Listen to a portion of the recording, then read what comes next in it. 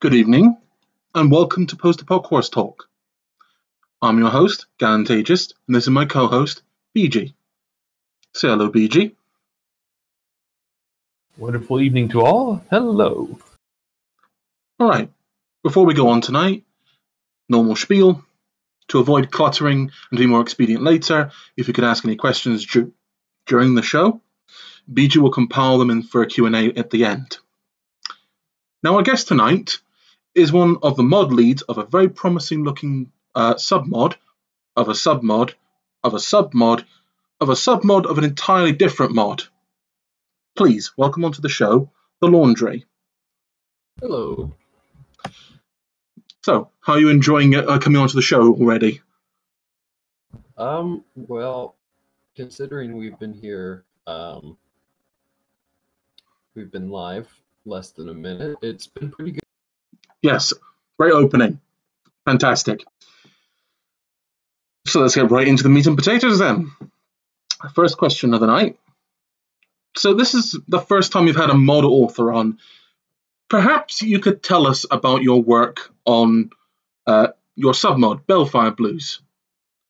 Uh, for those who don't know, Balefire Blues is a Hoi 4 submod in Fallout Equestria, based off the engines of both uh, Old World Blues, which is a Fallout submod, and Equestria at War, which is, as the name would suggest, a Horse World uh, Hoi 4 mod. Yeah, so um, pretty much uh, Equestria at War and Old World Blues, um, two of the like most expansive and pretty much replace nearly everything about base Hearts of Hearts of Iron 4, which is a um, World War II strategy game uh, by Paradox Interactive. Um,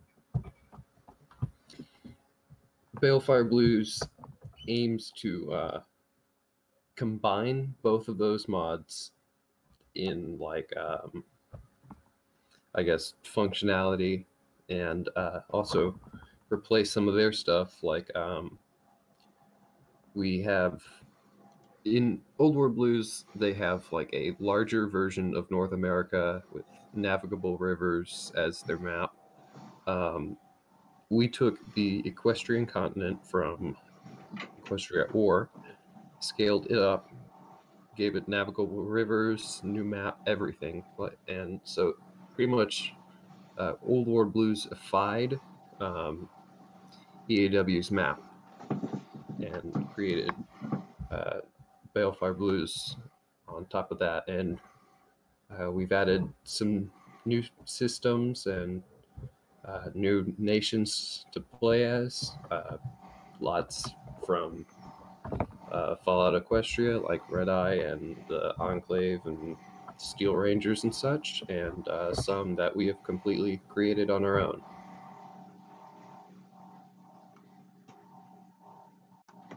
I think we're having some technical difficulty difficulties. Uh oh. Yeah, I think your internet connection's cutting out a little bit there.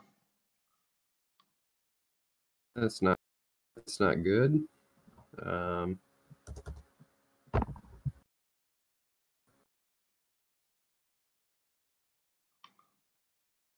We do apologise for this.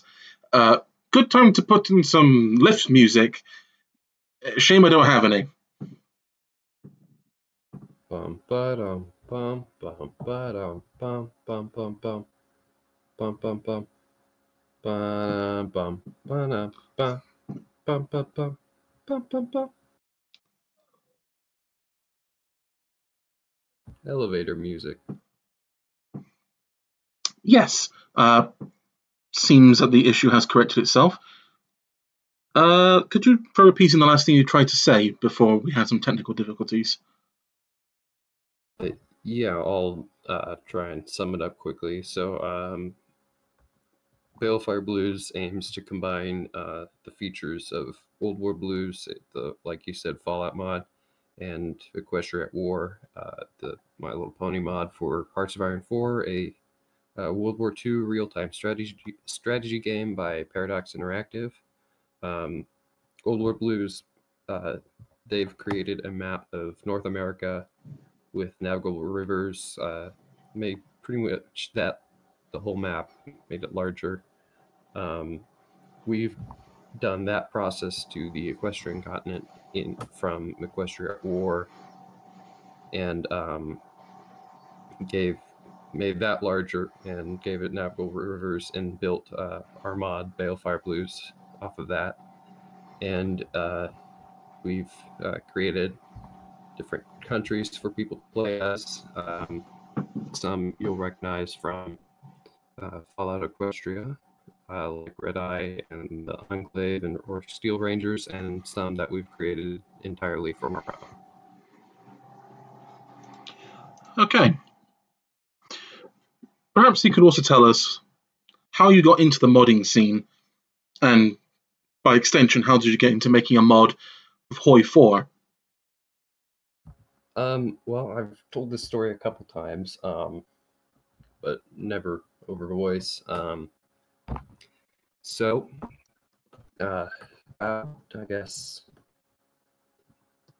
June of last year, I uh, decided, hey, I consider myself an all right writer. Why don't I write a Fallout Equestria side fic? Uh, I got about two and a half chapters in writing it, then realized, oh, I'm not actually that good of a writer. Um, so that was scrapped.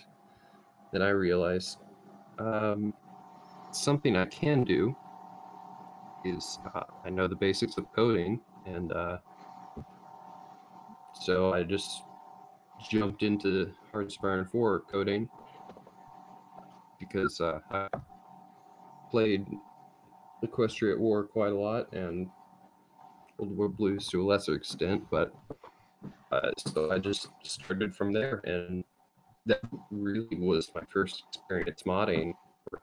I'd done a couple stuff before it, but nothing to this scale. I don't think anyone has really done it to scale. Uh, trying to combine two such expansive mods together and creating something new out of those.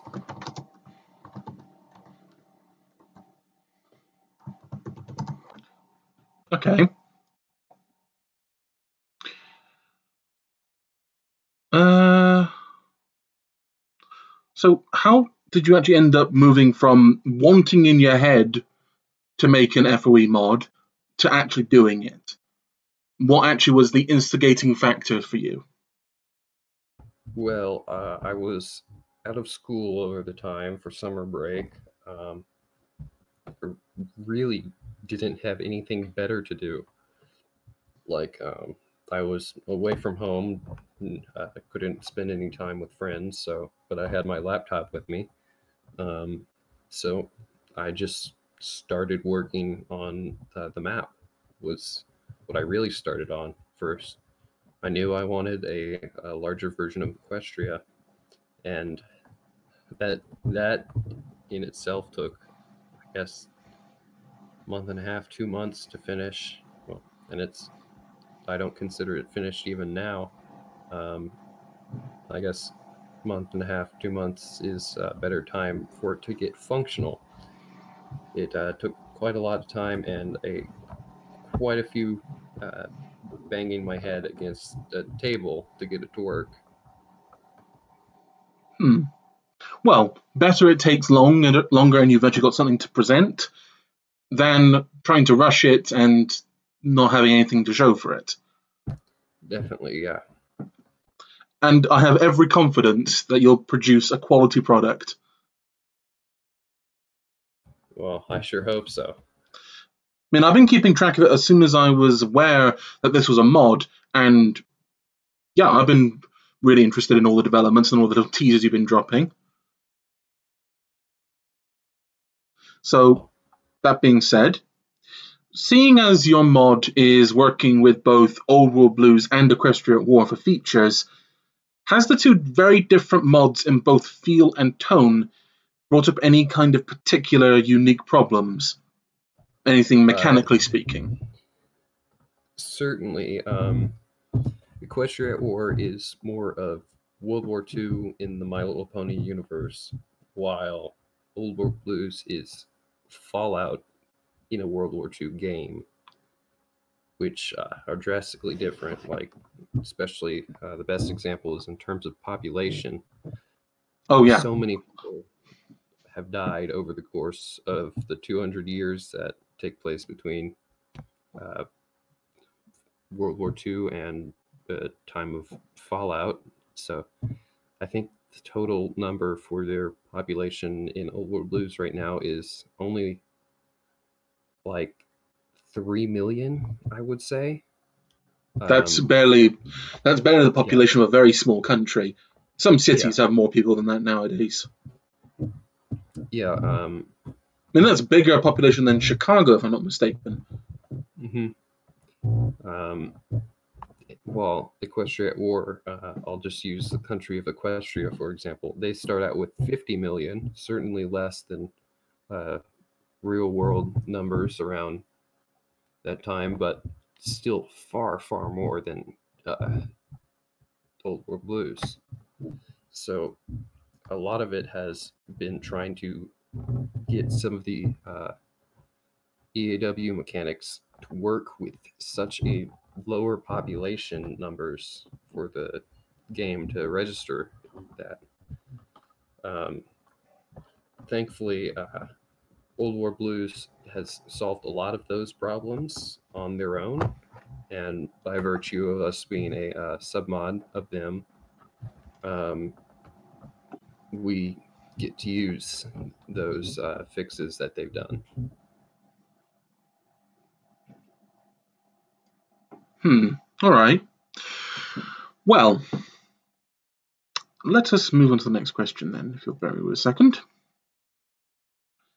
This is going to be probably the biggest question of this opening part. What is considered canon for Balefire Blues? Because Well, this is a this is going to be a, a lovely kettle of worms to open up. Yeah, you're right about it being a can of worms. Um, it's something I've had in mind since the very start. Um, so, the unchangeable facts is the original uh, Fallout Equestria story. Um, other than some of the time spans it takes place, because in the original story, uh, Little Pip only it only takes place over two months, Yeah. which is pr- nothing in terms of uh, gameplay time. Oh yeah, that's tiny and like Hearts of Iron 4. Hi, yeah, Tiny in Hearts of Iron times. That, that can fly past in what, like that, two Yeah, months. Like it literally takes on only on the lowest speed. It only takes, I would say, like five minutes to go through. Um, but so we've had to uh, extend uh, the story of it out drastically. So from two months to uh, five years. So you actually have stuff to play, um, but none of the facts change. Um, it's all the same. From uh, original Fallout Equestria is the baseline. Nothing can change in that. We bend everything else around that and create stuff off of that that doesn't affect it. Um, for example, we use uh, quite a bit of Equestria War Canon too, just to fill in the gaps because there are quite a lot of gaps left by the original story. Like they only touch on a tiny fraction of the wasteland. Um, Yeah, that that's that's a fair point. like, um, for example, in uh, one of the later updates, we're going to have uh, at the southeast Equestria. That's The jungle and the swamps there. yeah, the jungles and the swamps. Uh, in Equestria at War, um, that's where uh, most of the uh, thestral bat ponies live, and It's also where much of like the mystifistical stuff lives. Yeah, like uh, Daring Do, Ahuizotl, that sort of thing. But another thing that takes place in that area is uh, the other story by Kkat, which um, is considered semi canon to Fallout Equestria. It's written in the universe, but isn't canon. But we are going to take it as canon. Um, basically, in that story, it tells the tale of Daring Do uh, fighting zebras down in the jungles. Um, that since that doesn't change anything about original Fallout Equestria, we're going to take that and merge it with uh, EAW canon. So, like the Southeast will have, I admit, uh, the effects of that story by Kkat, um, but also EAW in it too. Um, another touchy example is uh, Project Horizons. Oh boy, we're gonna bring up Project Horizons again. Yeah, this this part will be fun. Um, there's a difference between my opinion of Project Horizons and what's going to go into the mod. In my opinion of Project Horizons, nothing past chapter 16 is worth reading. Um, I mean, let's be fair. Like the most of it isn't great. There there is Yeah. some good stuff in there. Ain't gonna lie. there, there's some good stuff, yeah, but um, it it goes off the rails after that. Um, but we're taking out some of the uh, more esoteric stuff, so there's not going to be a, uh giant star lich that's a big old rock under the city. That's going to be gone because That seems more than fair because that stuff is um that that's some universe bending nonsense right there. yeah um unfortunately uh the titular project project horizons will also be gone since it has to do with the Mm. star lich under the city Like I don't think you could. I think you probably could still have the rock itself be there, yeah but you definitely, it, but definitely not be alive or anything nonsensical like Yeah. that. um Unless you wanted to lot of- include that like as a secret path that it's actually alive. yeah uh doubtful um we, we've kind of there are some things of ph that will not be included star lich being one of them. Um but like a lot of it there's some really great world building stuff in ph like the thunderhead um Neighvarro split that's great. I i eat that stuff up. Um Mm. the various factions of the hoof that like the the finders and uh the society and Yeah, th- those are pretty nifty. Not gonna lie though, are pretty great when it comes to the enclave stuff, basically you can use that uh, whole conflict there as a means to stop the enclave from just steamrolling the wasteland. Basically, force them into a civil war before they can, you know, go about their business. yeah definitely um like and then um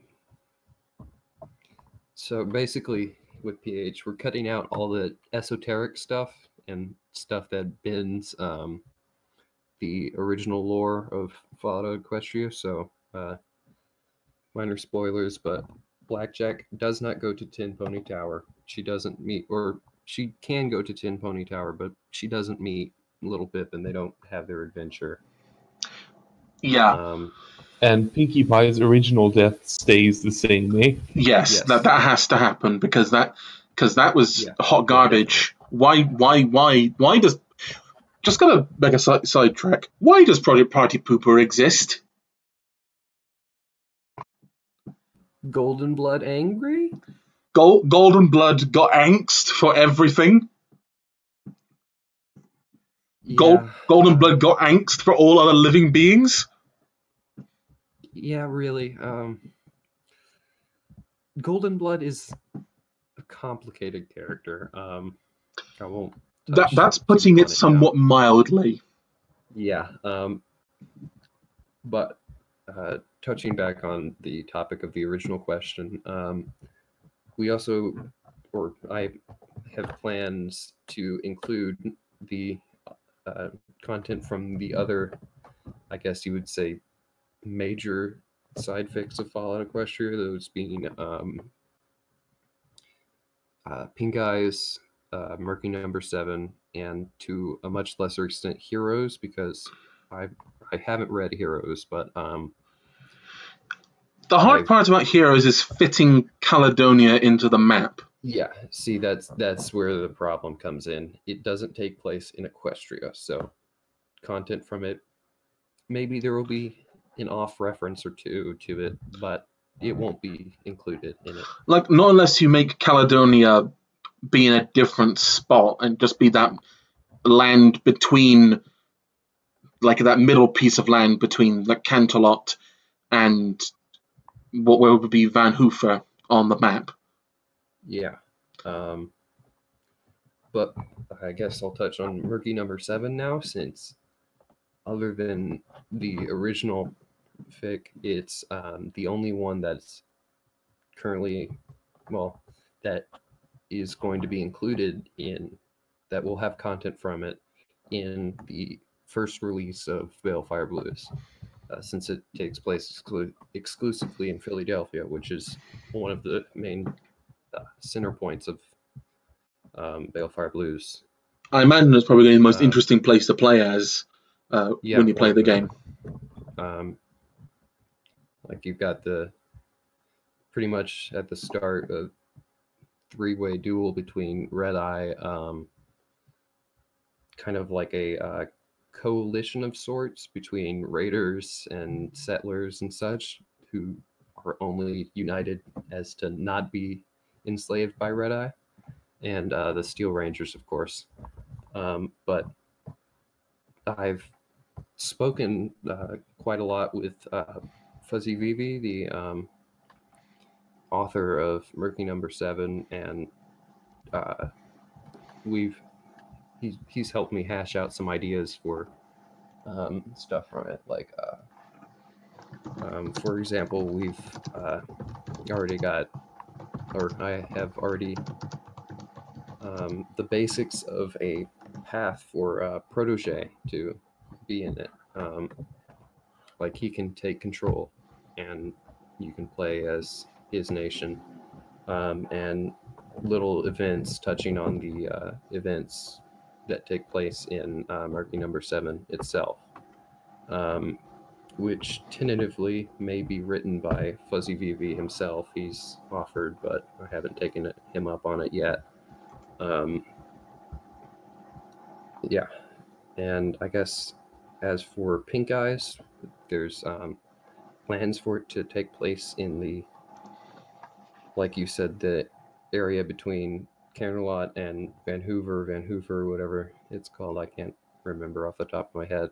For it to take place in between that, in that area. Alrighty then. Uh, perhaps taking anything from some of the smaller fics at all, because there's some really good stuff out there. Like, for example, um, I know this is probably going to be a miles and down the road, because, yeah, the zebras. The zebras that are mentioned in Homelands and to a lesser extent Project Horizons I think is one of the good things that came out of Project Horizons. There's some really good stuff there, in my opinion.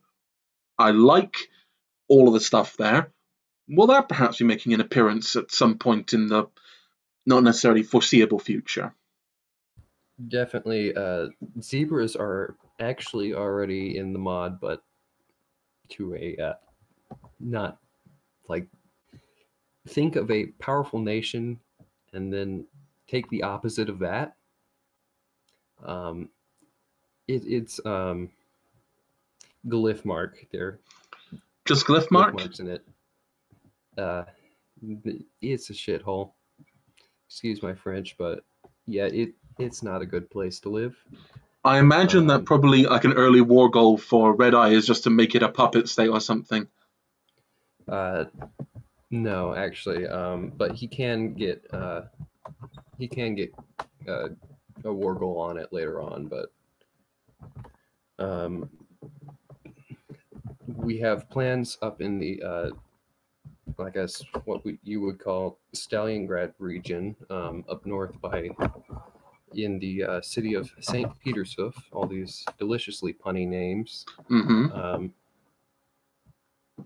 to have the remnants of a zebra army that invaded um, shortly uh, before the bombs fell, and as a result of the zebra army's invasion, Saint Petershoof was pretty much untouched by the mega spells.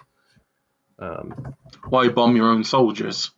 yeah, s- pretty much. Um, they're one of the few, uh, uh, like successful invasions of the. Um, It does raise a question, that- though. If they intended to blow up Equestria, why did they even go ahead with the invasion at that point? Seeing as they were going to blow it up anyway, why even leave your soldiers behind? Just withdraw, blow them up, be done. Well, honestly, we haven't gotten that far into uh, fleshing out their lore. Um, but I guess I'll try and make some stuff up right here. Um, I would say because St. Petershoof was a valuable city, I would say. Um, it's got maybe some secrets hidden in it that the zebras wanted to secure before the end of the world. Um, I've got a message. I mean, the reason I would have given for that is um, perhaps they intended to withdraw on time, but something forced their hoof ahead of time uh, to start blowing up the world, as it were. And they thought to themselves, this is probably going to, we're probably going to have to do this now uh, and then try and withdraw them later. But something happened to the fleet, seeing as, you know, Equestria mm, tried to, uh, you know, not be blown up, as it were. Ended up, you know, blowing up their fleet by accident. So they got left behind Um, because everyone was blowing each other up. I've gotten a message from one of my uh, other devs who's currently watching the stream. Um, thank you, Lord Wahoo, for getting me back up to speed with uh, the Stalliongrad lore that we've got. Um, the zebra, we've planned it so the zebras didn't actually attack Stalliongrad, the Stalliongrad area, with mega spells. Um, they were attacking the rest of Equestria, but it was actually an equestrian mega spell that backfired and brought death to the whole region. Uh, like, Ah, I see. that's right. Um, a lot of stuff happened right at the same time that the bombs were falling in Stalliongrad. Uh, there was a popular uprising that uh, rebels attacked a military base in the city. Um, that set off the chain of events that um, uh, destroyed the region. Um, there was the zebra invasion, like I said, and of course the whole end of the world sort of thing.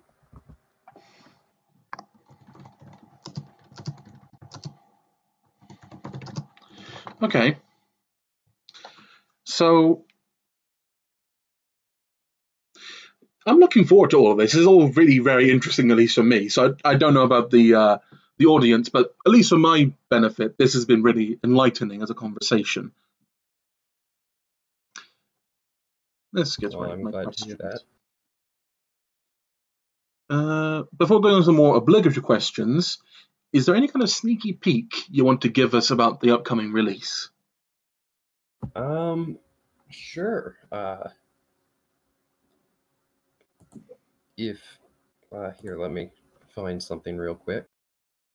We've got quite a bit of stuff in the back burner that um, hasn't been shown to the public. Um, let's see. Oh, I guess something that we haven't talked about um, in quite a while is how Little Pip will be handled, how her jan- journey will be handled. Ooh. Last time it was shown on the Discord server uh, for Balefire Blues, it was a beast that I brought upon myself. Um, it was Yeah, I, I saw that event chain. It was like that was a 200 heckin' long events, I think. Um, and it ended up be, I ended up scrapping it because it was like an event every 13 days for the player to choose from and it was just constant like you had to keep pausing the game over and over and over again because you couldn't play the game because you were dealing with all the events so i cut it down to uh, 45 main events for each chapter um, and then some sub events for some of the more important events like um, the first one you encounter is uh, let me i believe event uh, concerning chapter three of the fic um, guidance where uh, the player can choose um, whether or not little pip uh, actually takes watcher's advice and takes his guidance or just says fuck off to watcher. And that can have huge ramifications down the line. Like if little pip doesn't accept watcher's help she never learns of uh, the gardens of equestria and in turn never learns of the other hope um, for the wasteland. And that will be the only way if little pip spurns watcher that will be the only way that uh, she can actually join red eye uh, during um, i believe it's the kingdom of the blind event um, where red eye tries to form his new unity at the cathedral um, that is cool that you can actually have that path. Yeah, there's uh, quite a few paths from Red Eye. Um, I'm the uh, lead dev for Red Eye, so I can talk for quite a bit on him. Um, you've got obviously uh, Red Eye path featuring Red Eye, who did nothing wrong, by the way. Red Um, Eye obviously never did anything wrong. uh, you which eventually leads to um, trying to form the new unity um, which you can form if little pip meets all the proper requirements to joining red eye or the canonical ending of failing to join the new unity which stern then takes over for very temporarily. And then after stern leads to a um, as of yet undeveloped uh, path for a protege, where he's uh, pretty much takes over Philadelphia and tries to make it a better place. Tries to reform the place. Yeah. Um, but there's also a uh, way for Red Eye to die very early on.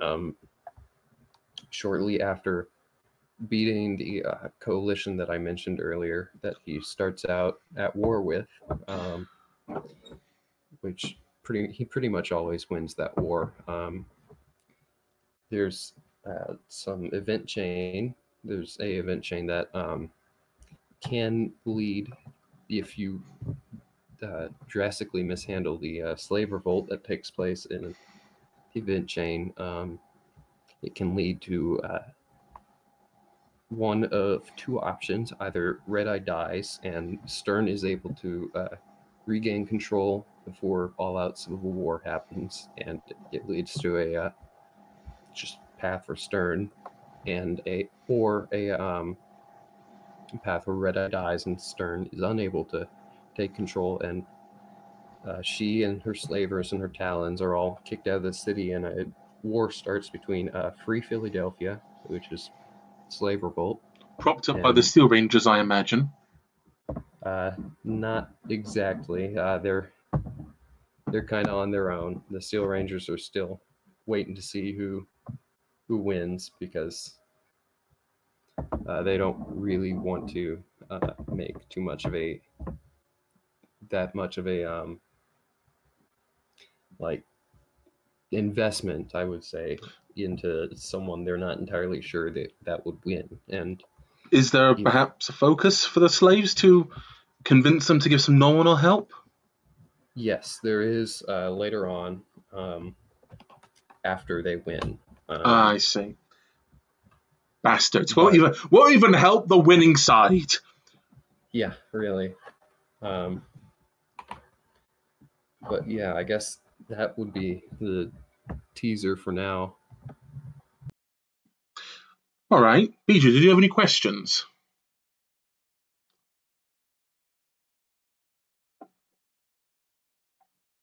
BG, you still here? Ah, can you hear me now? Yes. All right. Uh, no. So I was just gonna say, uh, not none so far. Please, uh, please do proceed. Or All right. actually, actually, um, would there eventually, would you eventually see uh, including uh, side fics um, uh, that that might be smaller than you know the the the well-known main five, big five? Um, there have been, well, I have made very, very tentative plans in my head to include maybe some of the more popular, smaller ones. Because if we just take, like, for example, one of the fics, much smaller fics that I've read, um, Fallout Equestria Project Hive. Um, God it's it's tiny. Um, it has to do with the changelings. Um, if we were to take lore from that, you probably wouldn't know where it would be from, and it's mostly in turn. We mostly will take stuff from uh, like um, more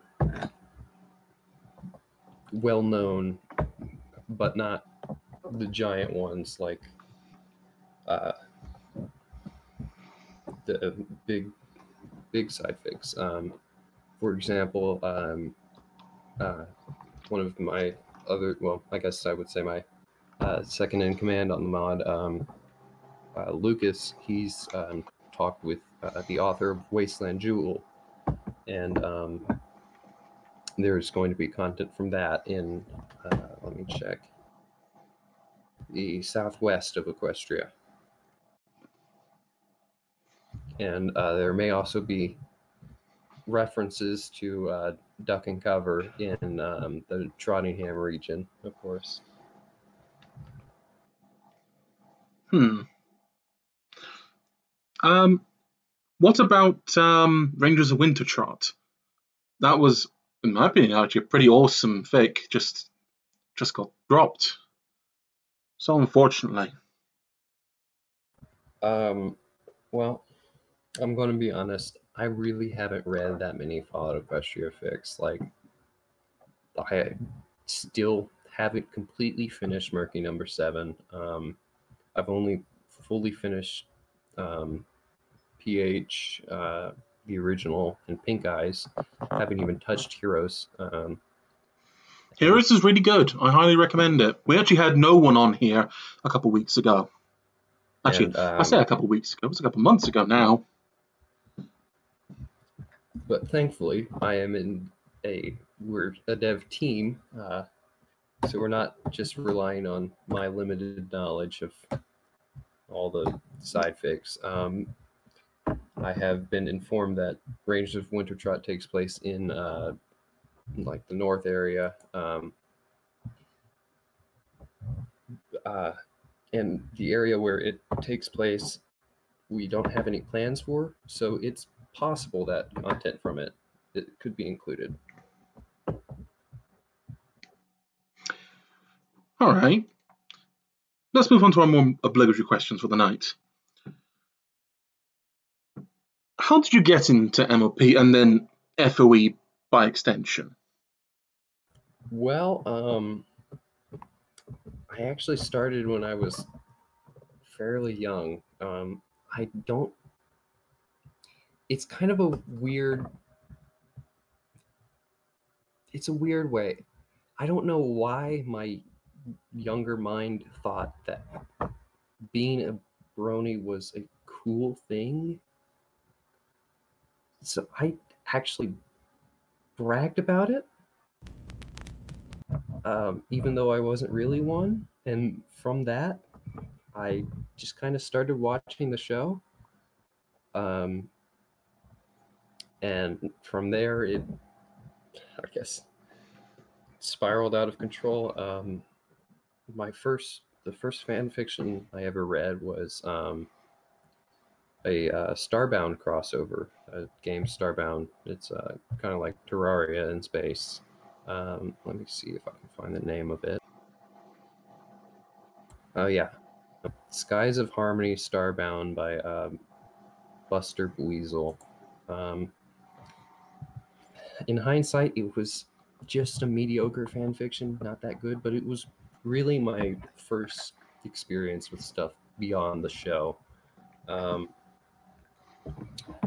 from there, it spiraled even more. Um, I eventually uh, decided oh, I was going on a road trip, and uh, I decided, you know what? I've heard of this Fallout crossover. I had actually never even I knew next nothing about Fallout before actually reading Fallout Equestria. Um, so I downloaded the uh, Crazed Rambling audiobook. Um, Good choice. and just listened to that over the course of my road trip. Um, and that that that was that. Um, I just I set that down for uh, I think I guess a year and a half maybe, and then I'm like, maybe I should read like actually read it this time. So I actually read it uh, on Fimfiction, um, and then then I decided, you know what? I've heard of this other big one in the same universe, uh, something by the name of what Project Horizons. Oh boy. Oh gosh. Um, yeah, I read that one all the way through um, in a much shorter time than it than it should have taken me. Um, I binge read it. Um, then I kind of put it put it Fallout Equestria back down for a while. Um, then uh, I listened to the audiobook once more, and I after that I uh, read Pink Eyes, which is my favorite uh, Fallout Equestria story I've ever read. Um, and then that entered another low point. Didn't really touch it for a while. Then I'm like, you know what? Let's go back and I'm having another road trip. Let's listen to another Fallout Equestria story, but not the original one. I've read that one three times. Well, read slash listen to it. Let's do PH again. You did it. To, you did it to yourself twice. Jesus Christ, Yeah, dude! I- do you like to suffer? I, I suffered even more the second time because um, I listened to Visual Pony, the narrator's one. And as you may know, uh, he has a nearly incomprehensibly thick German accent, I mean, it, especially in those earlier chapters. to be Yeah. fair though, his accent isn't as thick as other Germans that I've heard. Yeah, um, but um, I could barely understand him for the first five chapters, and now I've kind of gotten used to it.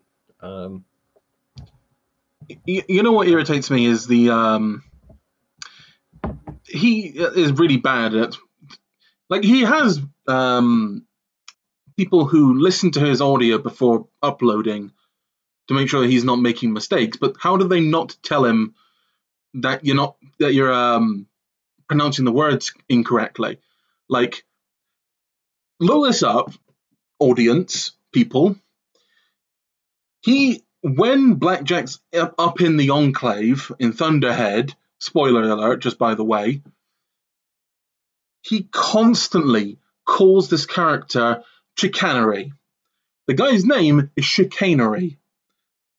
And it grated on my nerves like nobody's business that he could not pronounce chicanery. yeah, in the very, uh, I guess I can't remember. It was either first or second chapter.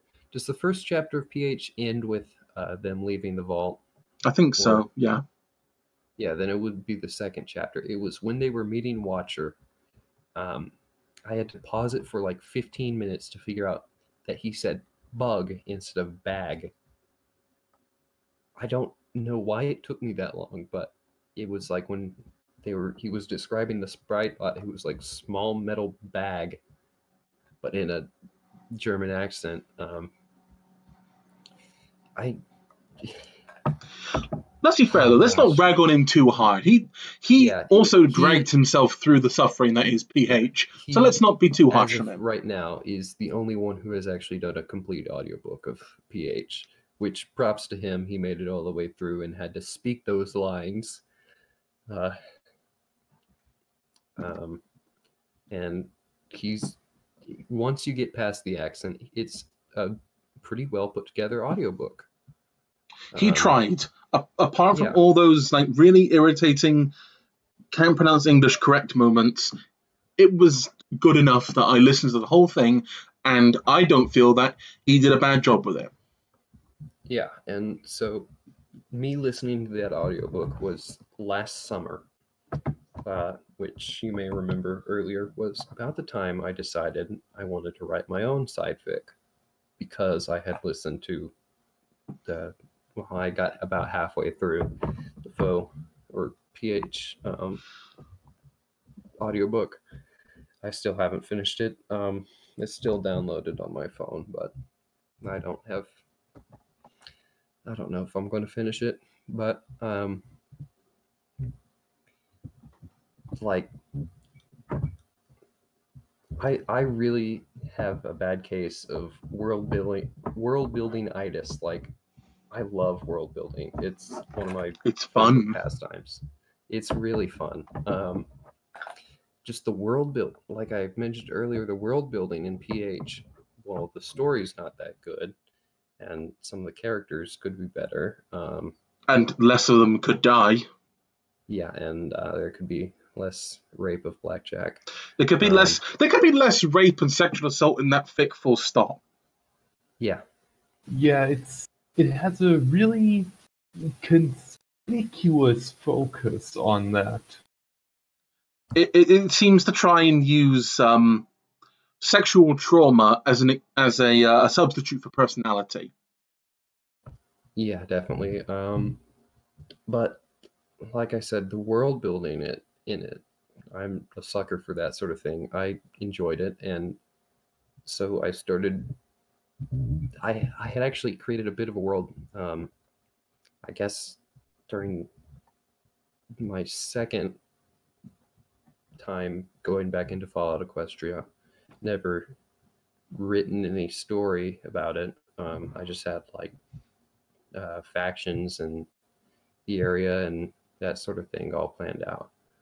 Um, I it was a couple years ago, so a lot of it had uh, had to go through refinement.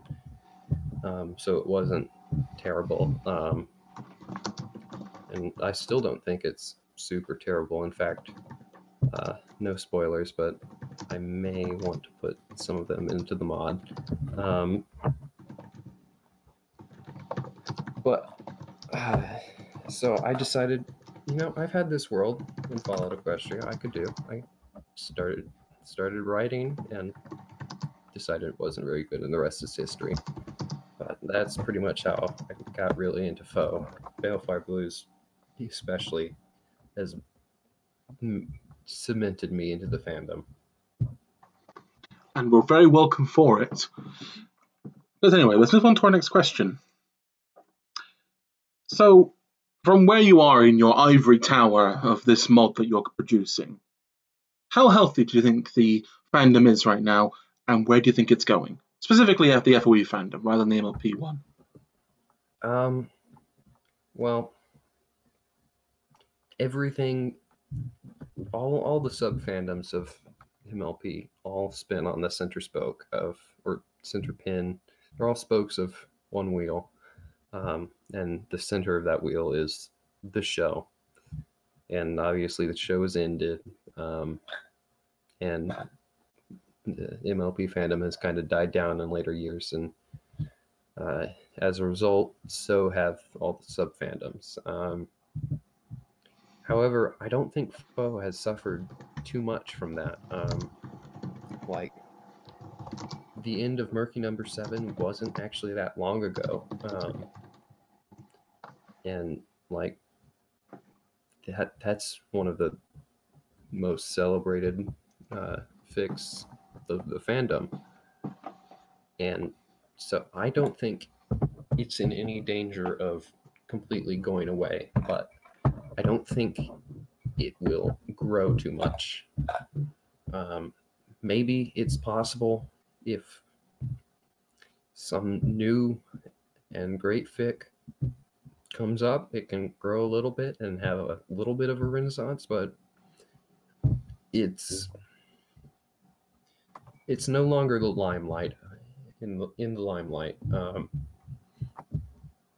and yeah, that's I'd be inclined to agree with you. yeah. Sorry, carry on though.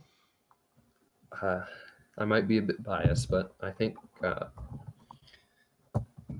from just from what I've seen with like in terms of fics um, and other developments like um, the Overmare Studios, uh, their game.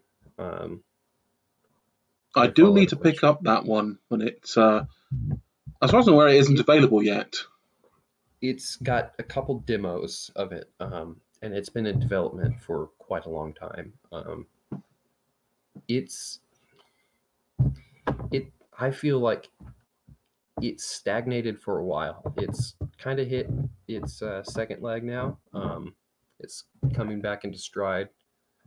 Uh, they're getting quite a bit done on it. Um, pretty impressive with the stuff they've got. Um, but like I said, might be biased. I think uh, Balefire Blues is probably one of the biggest and most fast moving projects of the fandom right now. Um, and here comes the bias. Um, I think one of the highest quality fast moving ones right now. Don't put yourself too high on that pedestal there, friend. Look, I'm just saying, um, the vast majority of side fics uh, are not that good. Granted. Um, and I'm one of the uh, weirdos. I don't consider the original fic to be that good either. It's got a quite a bit of uh, good points to it. Um, again, I'm a sucker for world building, um, but I kind of hold controversial, contra, controversial opinions about it. Um, I don't really like Little Pip as a character. I despise Velvet Remedy. I, mean, if you- Calamity, If you like that kind of stuff, you should see our um, Hearthwarming special. You'll you'll absolutely love that our Hearthwarming special. I guess I'll have to check it out. Um, Calamity and Steel Hooves are really the only two main characters are like. Red Eye is one of the few characters in the story with actual depth, and especially in the later parts of the story, it it really just becomes all the names and world building stuff just become rips from um, like actual Fallout, uh, like NCR, New Canterlot Republic. I despise that, and I know quite a few of my members of the mod team despise it too. That first off, they don't even hold Canterlot, um, but it's they try. Kkat tries to do it or tries to make sense of it. It doesn't really work. Um, but yeah, uh, I ph obviously you know it's it's got its flaws so does murky number seven and like i said but really the only like truly great fic that i have read from fallout equestria is pink eyes Fun fact: we'll prob- we're trying to have uh, Mime Zinga on the show, so keep an eye on the sh- on this. We'll tell you when we have him on. All right. I will keep an eye on it. All right. I think we got a couple more questions before we go to our first commercial break. We know that you read. You've made it abundantly clear you do read some fiction. Thus, and I think you said like the big your favorite big story was Pink Eyes. Yeah. So from I'm assuming you have read some smaller stories. What's been your favorite amongst the more lesser known stories? Uh, well, I mentioned it, it earlier. Um, Project Hive. Uh, I updates to that story are far and few between, um, but I enjoy the concept of it and some of the characters, even though it takes so long to update, I've kind of forgotten some of the character development when each new chapter comes out. Um, Duck and Cover, I also really enjoy. Um, We had uh, we had um, what's his name, Captain Horse Captain on as well. Yep, we had him on. um, So delightful. Yeah, please proceed. yeah, I, I'm kind of a sucker for comedy. Um, I consider myself to. I, I try to be a funny person. Um, Funny how? Ha ha, funny. Am I a clown to you? yes, you called me a clown. we're all clowns here. I mean, yeah. Um, but outside of Fallout Equestria, um, I'm kind of a sucker for crossover fics. Um, but the best fic I've probably ever read. Um, here, let me.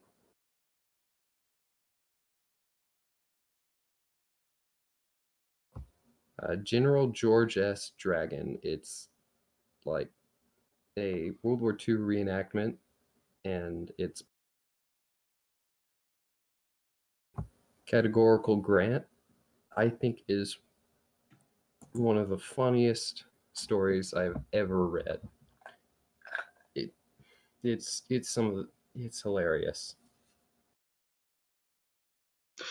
If you want to get the link for that BG and post it in the chat, let's uh, share that one around.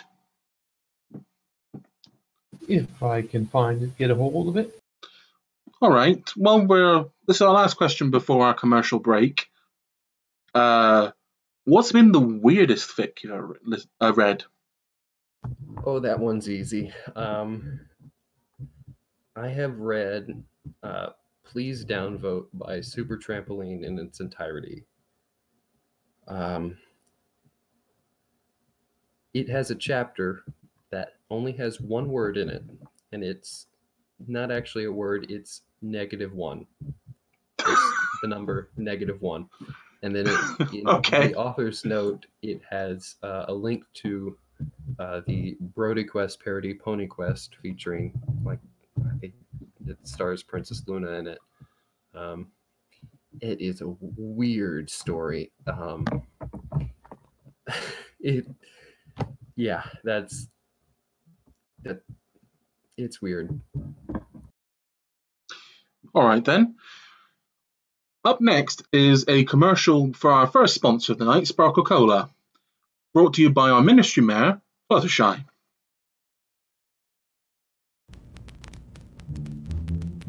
There's a reason Sparkle Cola has remained Equestria's most popular beverage since it was first introduced to the public. Not just its refreshing taste, but also because Sparkle Cola uses only the finest equestrian ingredients. And we add just the faintest hint of magic for that refined flavor you can only get from an ice-cold Sparkle Cola. Because we're a company you can trust, ran by real equestrians, you can be sure that Sparkle Cola's spectacular taste just can't be beat. And for every Sparkle Cola you buy, one bit goes to supporting our mares and stallions in uniform. So sit back and enjoy the great equestrian taste of Sparkle Cola. Sparkle Cola. What you want is a spark.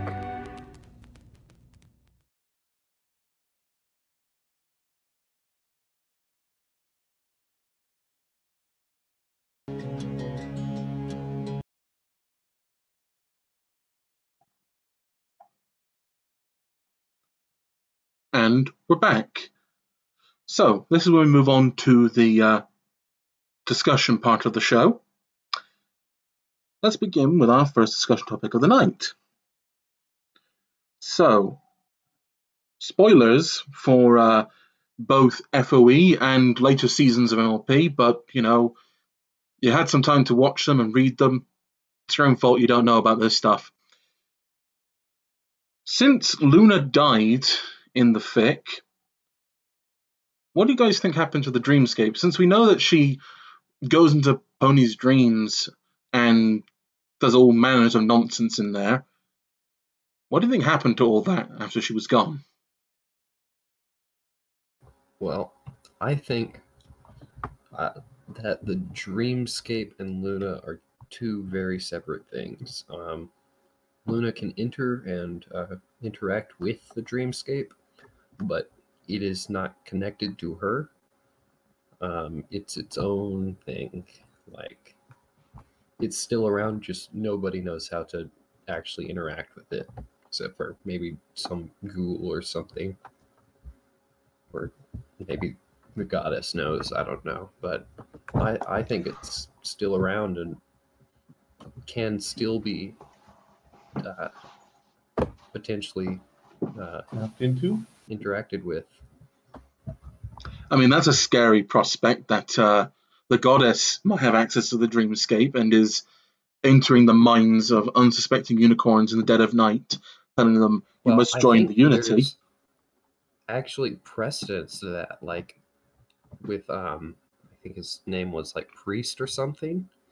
The uh, pony they meet in uh, Junction R seven, um, who's like the disciple of the goddess. He had like visions of her, and Red Eye uh, had interacted with the goddess on some telepathic level. Could very well be through the dreamscape. That is somewhat concerning, yeah. Mm-hmm. And that does, in. Go ahead. and that does, the chap brings up a good question here. That does mean that Equestria's going to have some trouble dealing with traitors uh, and not and naysayers, seeing as you know your wartime leader can literally watch what you're thinking about in your sleep. Yeah, though I think during the war, at least, Luna had much uh, more pressing matters than watching over the dreams of all her, of each and every one of her subjects. Um, after all, she had a war to win. Hmm. It, it's still not exactly for a comforting reading, as it were. It's not a comforting thought. Yeah, and I'm sure Pinkie Pie and the MOM would uh, love to get their hooves on a way to access the dreamscape and watch over every single pony out there. Get all the bad ponies. Mm-hmm. Like, in one of the side fics, there was Pinkie a Pie character is who watching you forever. sorry, Beachy, we sorry we interrupted you. Please carry on. Yeah, in in the side fic, um, Project Horizon Speak by Heartshine, there's a character who invades the main character's dreams. I, until shown otherwise by the author, I'm going to presume that he has some way of tapping into that dreamscape of Luna's. Hmm.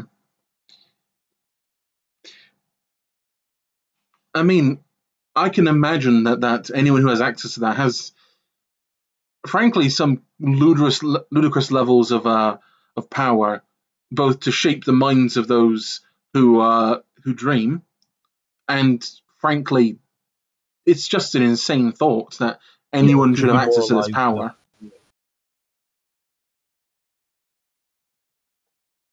Now, now you've set the wheels rolling in my head. Uh, I'm starting to build up a theory. Um, I think the dreamscape could be part of what uh, helped create the unity, basically, uh, like the connected neural net of it all. Like we see in um, Do Princesses Dream of Magic Sheep, like you can connect people through the dreamscape, like massive amounts of people, like a whole town, even, or uh, across a whole wasteland of alicorns. And I'm going to draw a bit of comparisons to um, Star Trek's uh, subspace slash warp or whatever it's it is. Um, I feel like the dreamscape is a sort of parallel universe that's kind of intertwined with the uh, main one and can't really be affected. You can go into the dream space through simple ways of like dreaming or uh, powerful magic like Princess Luna. Or there can be, or if there's sufficiently powerful enough energies, like uh, say enervation, um, you know how it affected um, the Alicorn Unity front in uh, Hoofington. I mean, Um, the reason why that was affecting them is because it's literally magic screaming. yeah, uh, but I, I'm thinking that maybe it also has some effect on the dreamscape, which, like I said earlier, might be the basis of the Unity. Hmm. It's still. We can agree that it's a bit. It, it, it's going to be a massive tool to anybody who can get access to it in the wasteland. Definitely, yeah, definitely. All right, so move on to our next topic then. This is one that's been brought up uh, a couple of times on the show. Raiders, and what do you think the end game is for them? What do you think the end of, the end of? Uh, because Ra- the Raiders stage will eventually have to come to an end.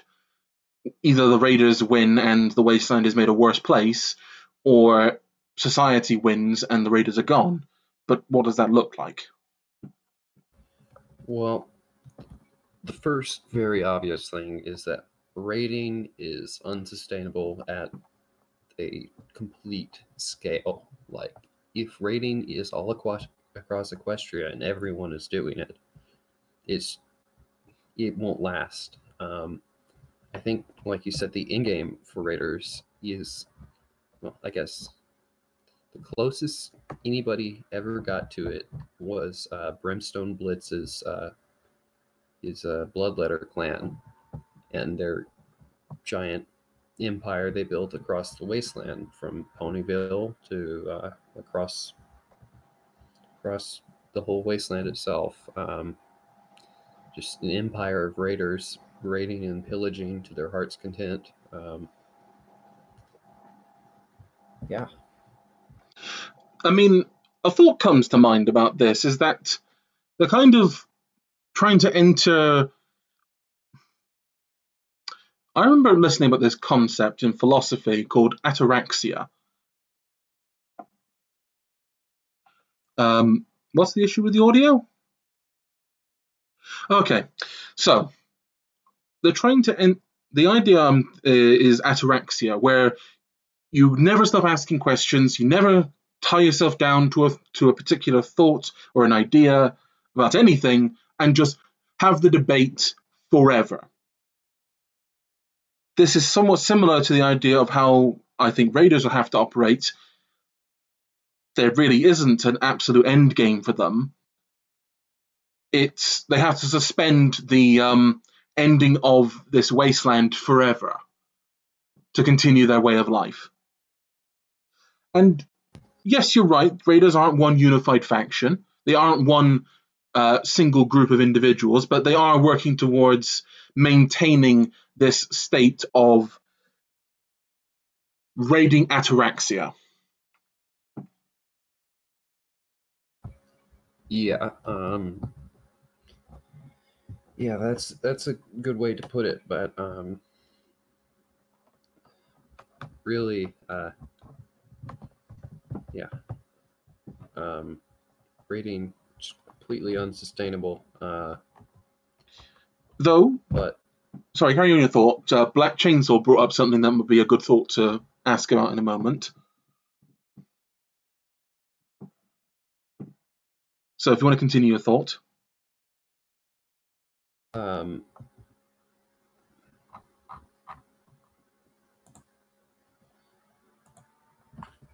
gosh, I lost my train of thought. So, All right then. Well, Black Chainsaw brings up the thought that um, what about raiders forming kingdoms and nations amongst themselves and raiding each other?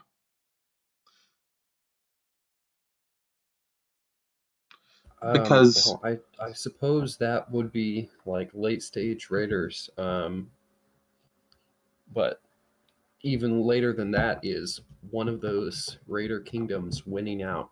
Um, and what do they do when they've won and there's no one else to raid? They end up collapsing in on themselves, and the cycle starts again. Uh, Mm. Or potentially they just form like a feudal society where it's raiding but legitimized. Yeah.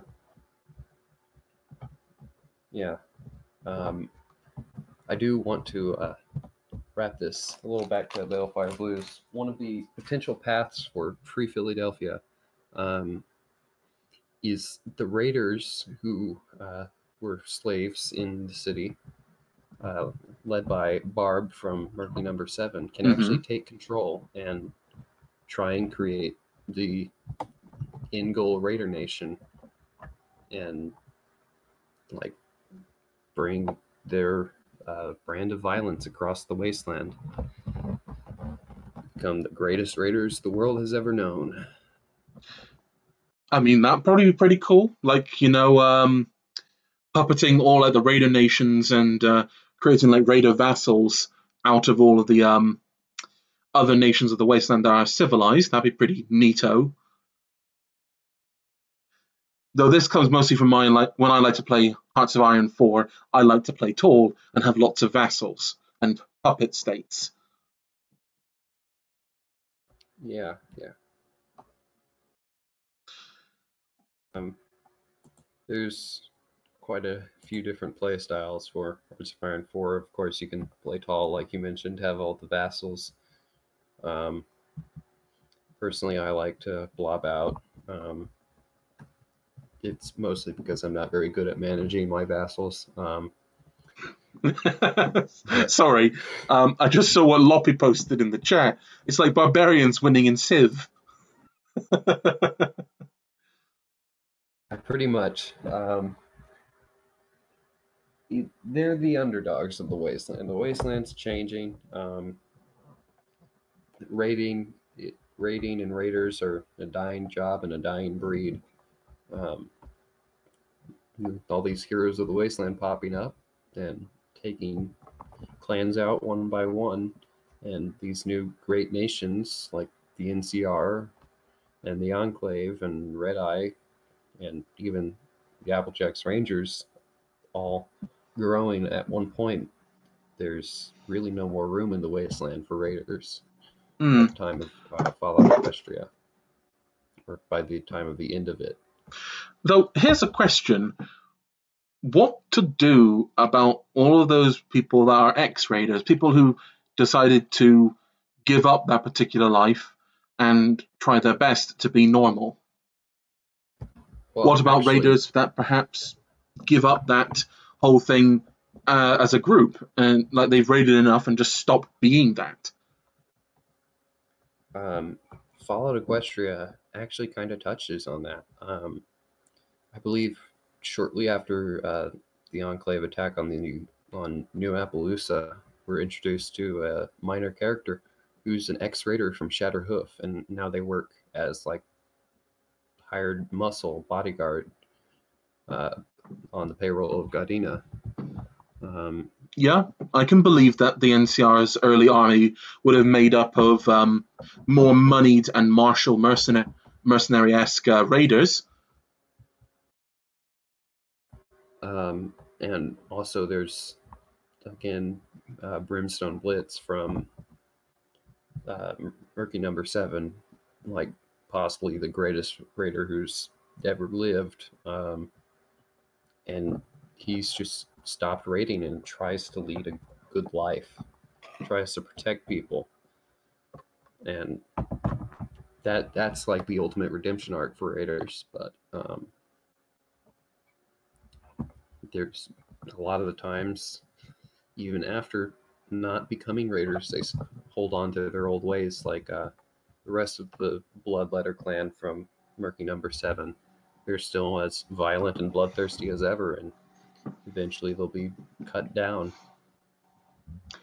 The thing is, is that there's only a lot of people that want um, to wipe all those raiders out because of all the past deeds. And to be fair to them, you can't exactly blame them for wanting justice because raiders have been a scourge on the wasteland since there's been raiders. And raiders is a, not exactly a way of life that leads to nice behavior. Yeah. Um, I think the truly redeemed raiders will be far and few between, and they'll still definitely be discriminated against by the people of the wasteland. Um, any ex raider is going to be it's going to have some sort of discrimination against them. Um, like some it, it all depends on where they are. Like if they're in a particular lawless area they'll probably be rounded up and lynched or something. Um, if they're in a more safer area like the new ncr they might actually find employ employment with the government as hmm hired mercenaries. I mean, obviously, that's not exactly the best line of work for them. yeah. Frankly, because they don't have the discipline to actually be a soldier, or if those who do have discipline usually end up being mercenaries ahead of time and would have been already in that line of work. But I'm also thinking of like in um, Project Horizons, they've got the gangs of Hoofington, which are they're just raiders. They're just raiders with some extra little bits of like personality sprinkled on them, which mind you, I appreciate and I like because I like my raiders to have some level of nuance and more than just uh, chem-addled lunatics with guns. But um, they, they are just raiders with extra steps.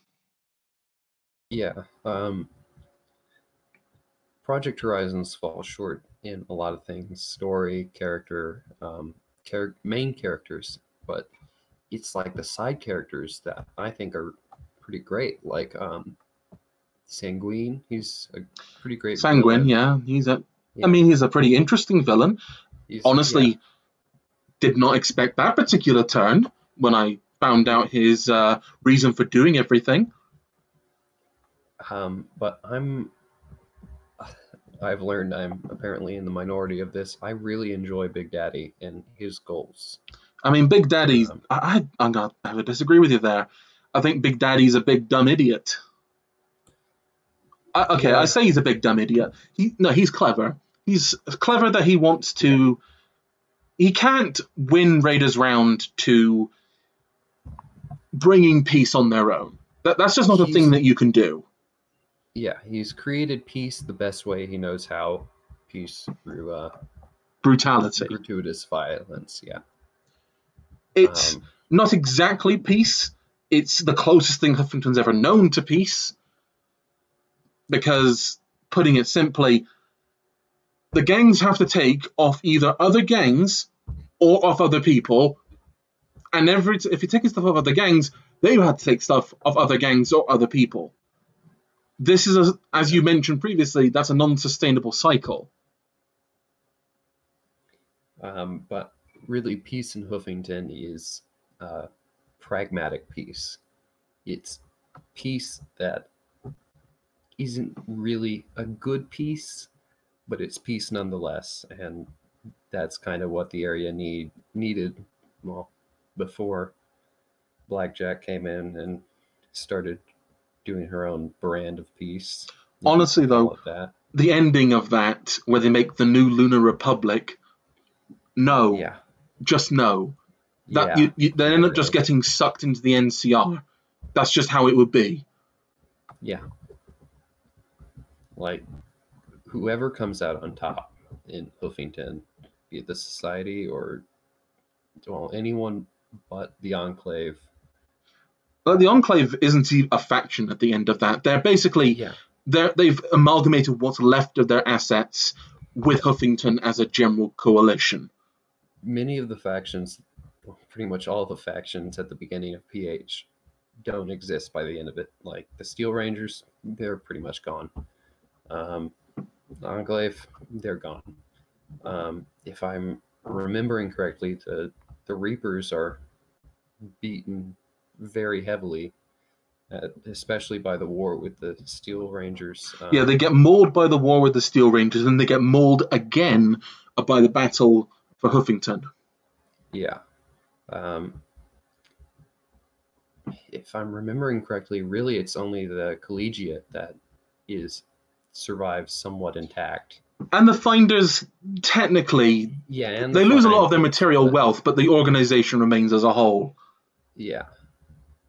And those two being like the last two that surviving and the ones that probably eventually became the uh, New Lunar Republic, they wouldn't have become the New Lunar Republic. They would have either joined up with some pre-existing faction.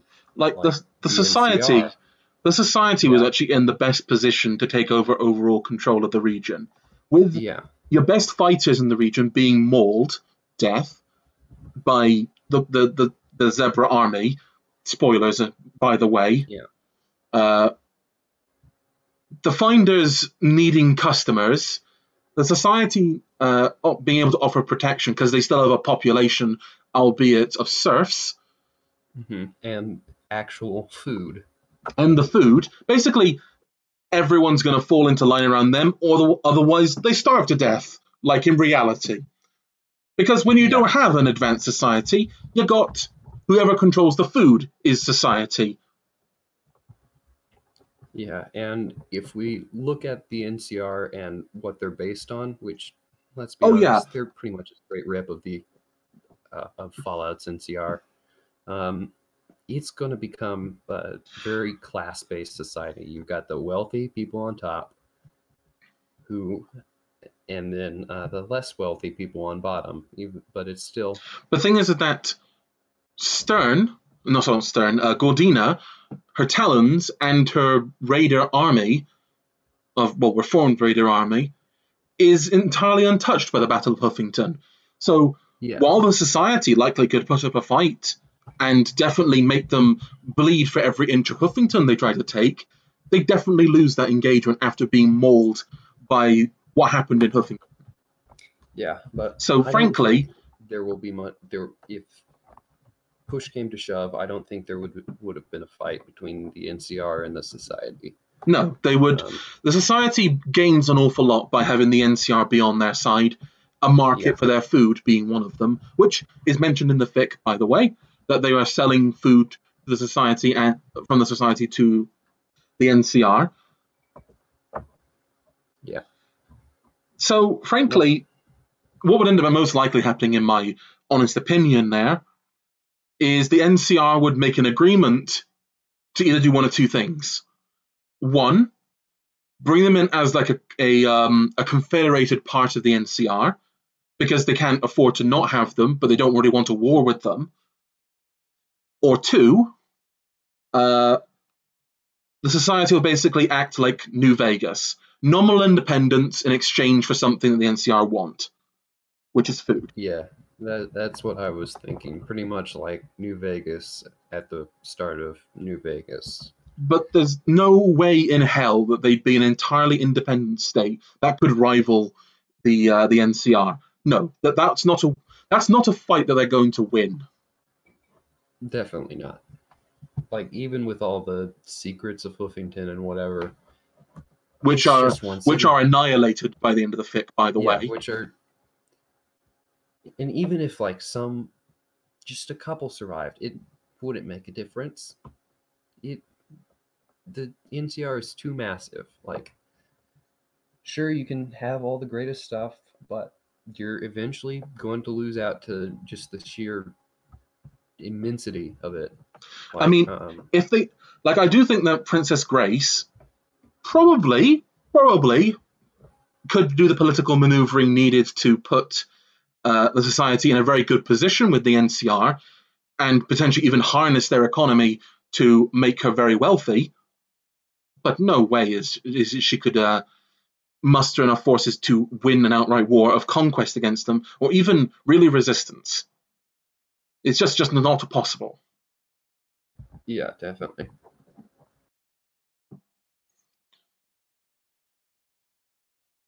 And so does the NCR. Like, there are plenty of enclave elements out there that would, you know, if given the opportunity and ample money, probably work for the NCR too.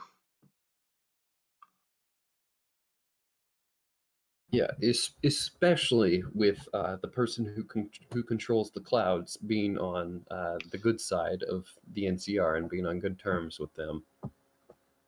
I mean, I want to point out that the NCR, before it was the NCR, still destroyed the uh, the Enclave and their cloud ships, and there was, well, more to go. Ra- now there's more of that unity to go round after that business was dealt with.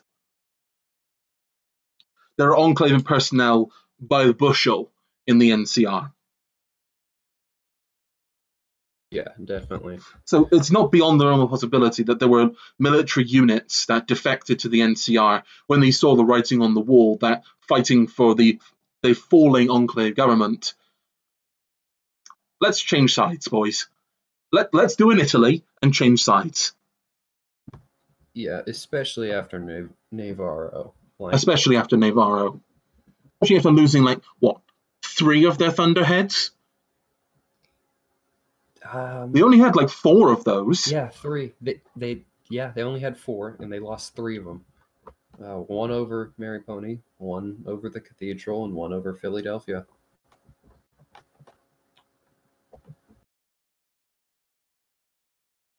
Oh, and Celestia One. We forgot about Celestia One. The Enclave has yeah. Celestia One. Or not the Enclave. Um, Sorry, uh, NCR. Yeah, NCR. The, you have cloud Um, ships. We have the sun.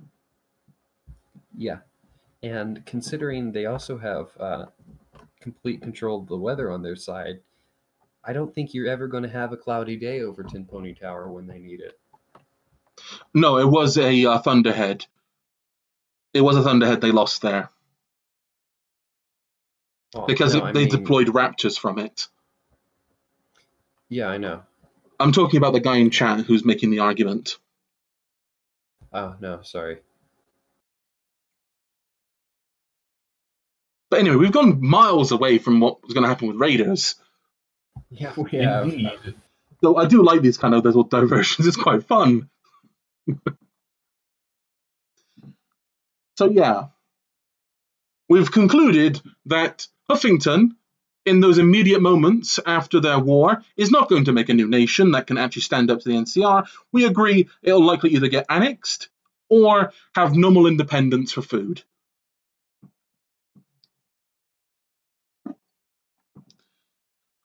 But anyway, moving on to our next topic for the night. Three. What one is that? Ah, on a much more softer subject, Sparkle Cola Red. I don't think it was mentioned in the fic, but do you think it glows? And is there other flavors of Sparkle Cola out there? Well, we know of we know Sparkle Cola Red is both. It's a pun in two ways. It's a pun on radiation, and a pun on radishes. It's a radish flavored soda. Normal Sparkle Cola is carrot flavored, if I remember correctly. Mm-hmm. Um, Basically, fizzy carrot juice. yeah, which doesn't really sound that good. I mean, carrot juice tastes okay. It's quite sweet. Yeah, but I, I have mixed feelings on carbonation. Um, it can be good if done well. Um, on the other hand, there's things like uh, sparkling water and uh, Topo Chico, which uh, I find to be utterly disgusting. It's like some of the worst tasting drinks I have ever drank, and I have uh, drank vinegar. Um, but back to Sparkle Cola. Um, I think yeah, I think it would glow a red radish colored glow. Um, mostly from the decaying isotopes in it. Um, and as for other flavors of Sparkle Cola, well, they've got so many other vegetables to choose from, like uh, asparagus flavor. Mm, that's not going to be a popular flavor. Yeah, I can imagine, like, I imagine they probably take on more fr- fruit flavors or sweeter Yeah. vegetables, like um, what's another great sweet vegetable? Like, you could have a sweet potato flavored drink. yeah. I don't know. Um, Pumpkin, pumpkin juice, carbonated oh, yeah, pumpkin, juice. Yeah, pumpkin. That would totally be one. We also have to understand that you know the horses, the vegetarians, they have different tastes to us, om- om- omnivorous creatures. Mm-hmm. Daisy flavored one. That might. Oh, like I can imagine, like um, uh, Sparkle Cola's water range, flavored water, uh, Sunny. Lacroix Sparkle Cola. but yeah, um, cherry is obvious flavor. Cherry and carrot. I have actually tried a cherry and carrot flavored drink. It was a Polish drink. I can't remember what the name was, but it was um, like a very orangey, pinkish kind of drink, and it was got carrot juice in there and cherries. It was actually quite nice. Yeah, I'm. I'm not usually one to uh, drink a lot of vegetable-based drinks. Um, I, I don't have very good eating habits. Um, I I just can't stomach lettuce or pretty much any leafy green. Um, but Dude, you could get some get yourself some gout. Yeah, I know. Um, but something I have tried before are uh, kale smoothies, that sort of thing. Mhm. Um, pretty good for your health. Uh, Taste like all right. taste like green. Yeah, ta- they taste how they look. Green. it's a bit like uh, Parma violets. They don't taste of any kind of particular fruit flavor. They taste of the color, which Yeah. For kale it tastes of the color green, and Parma violets of the color purple.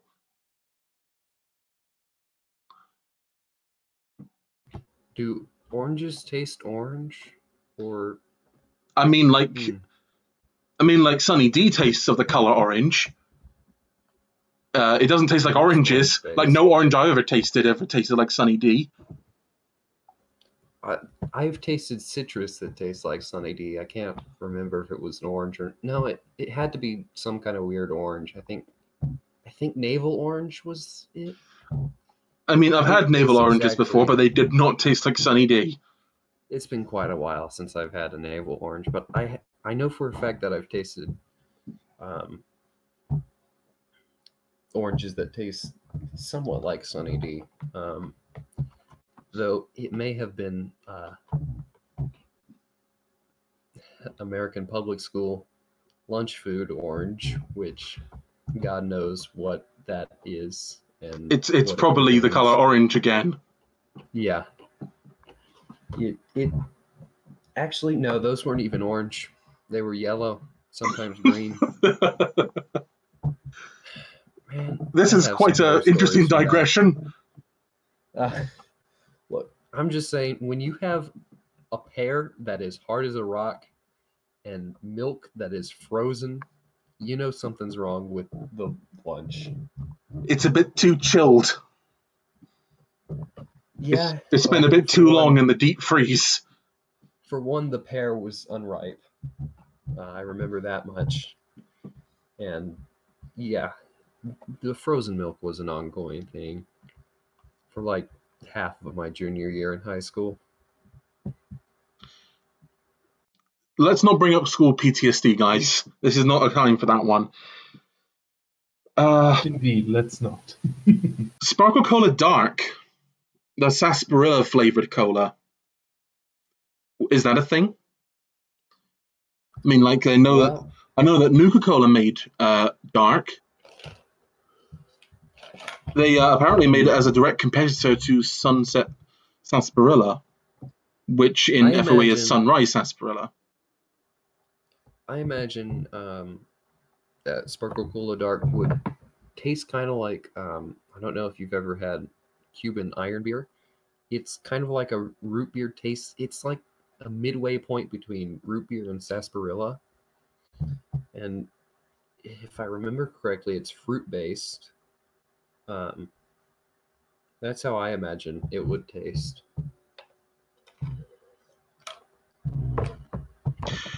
For the sake of our sponsor tonight, who is also Sarsaparilla, Sunset Sarsaparilla, Sunrise, sorry, Sunrise Sarsaparilla, that's that off brand, Sunrise.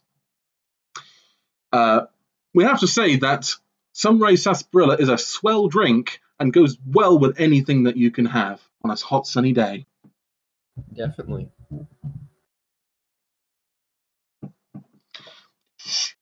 Don't bring that one up, Black Chainsaw. We can't have the Bethesda guys knocking on our door.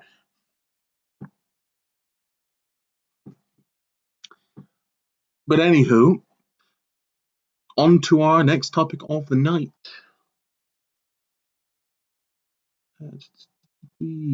Stealth bucks and stealth cloaks. How do they work?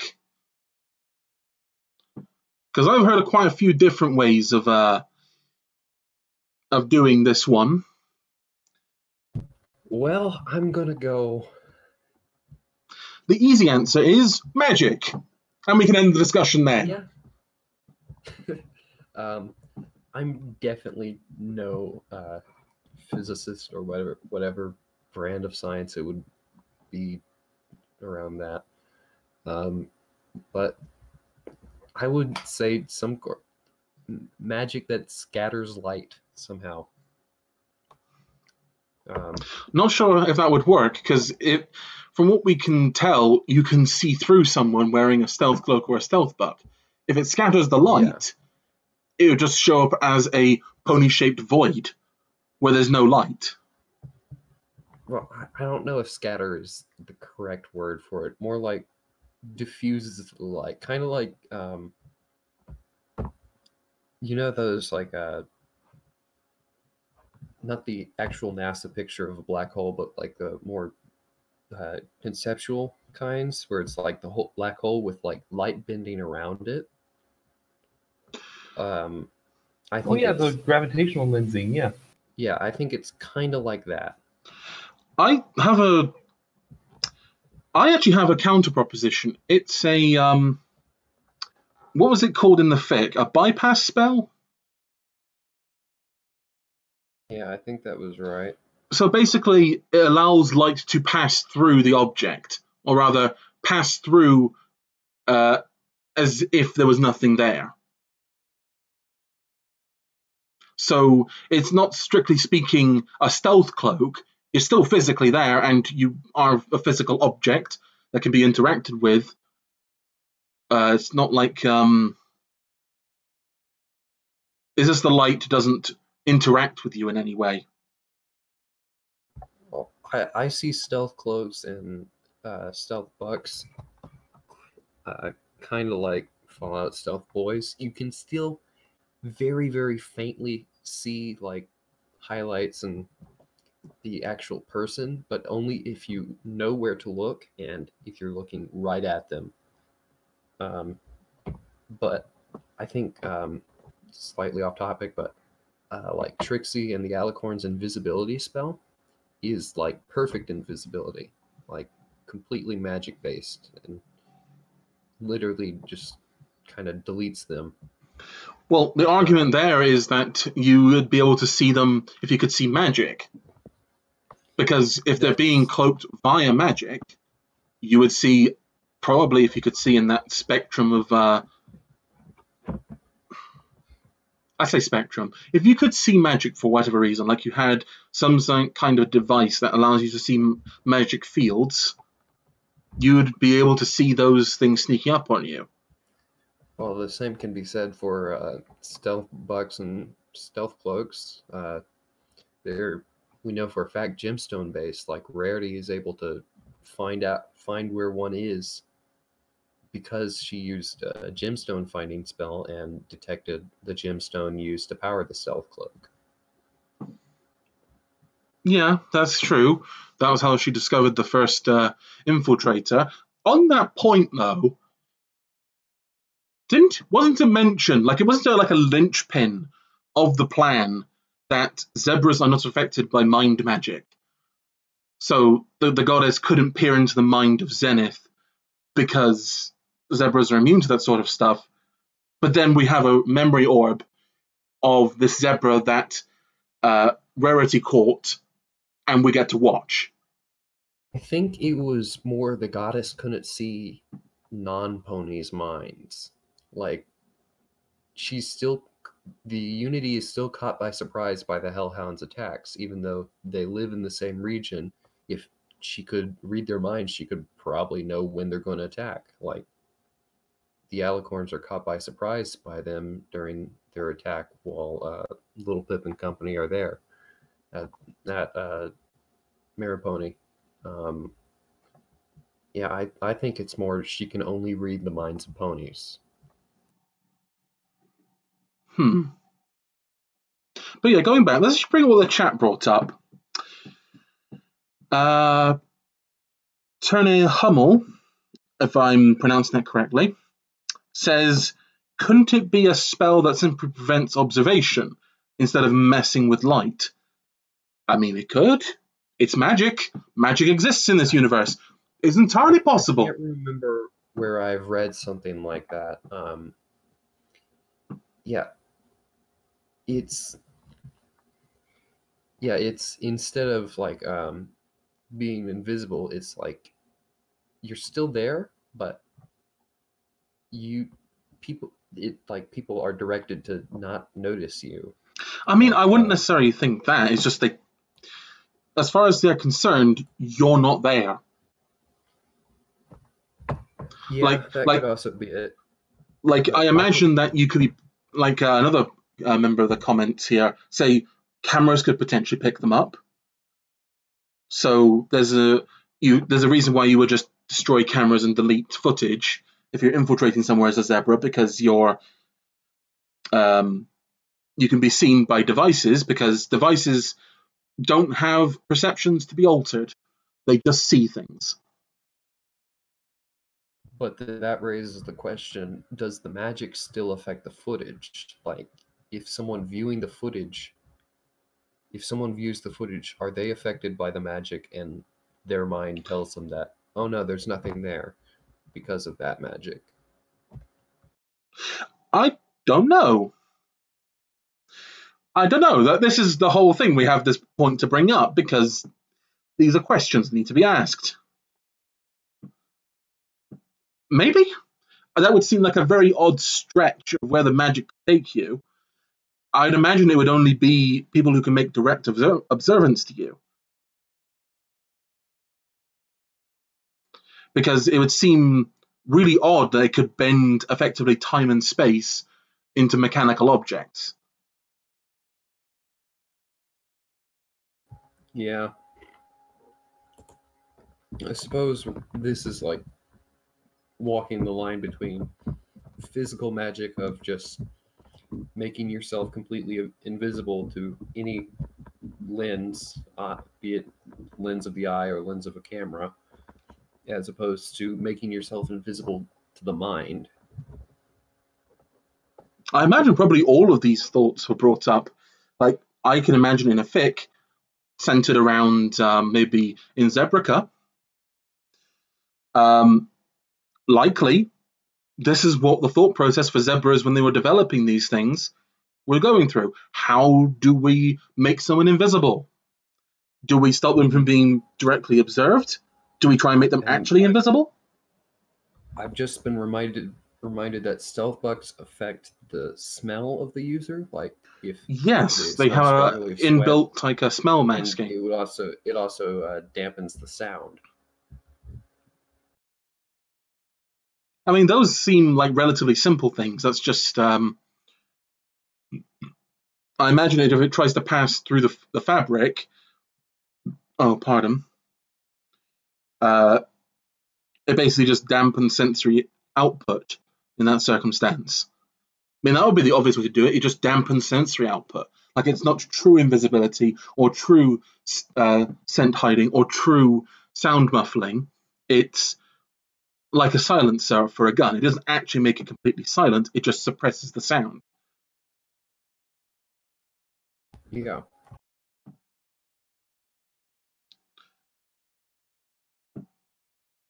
But yeah, this is like an I like because um the the question first comes up then how what did the zebras do? And then what did the ponies do as well? Because they eventually got their hooves on uh, stealth technology. And it obviously brings up the question what did they do instead? Did they just straight up copy it? Or did they try to do it in their own way? Are they different at all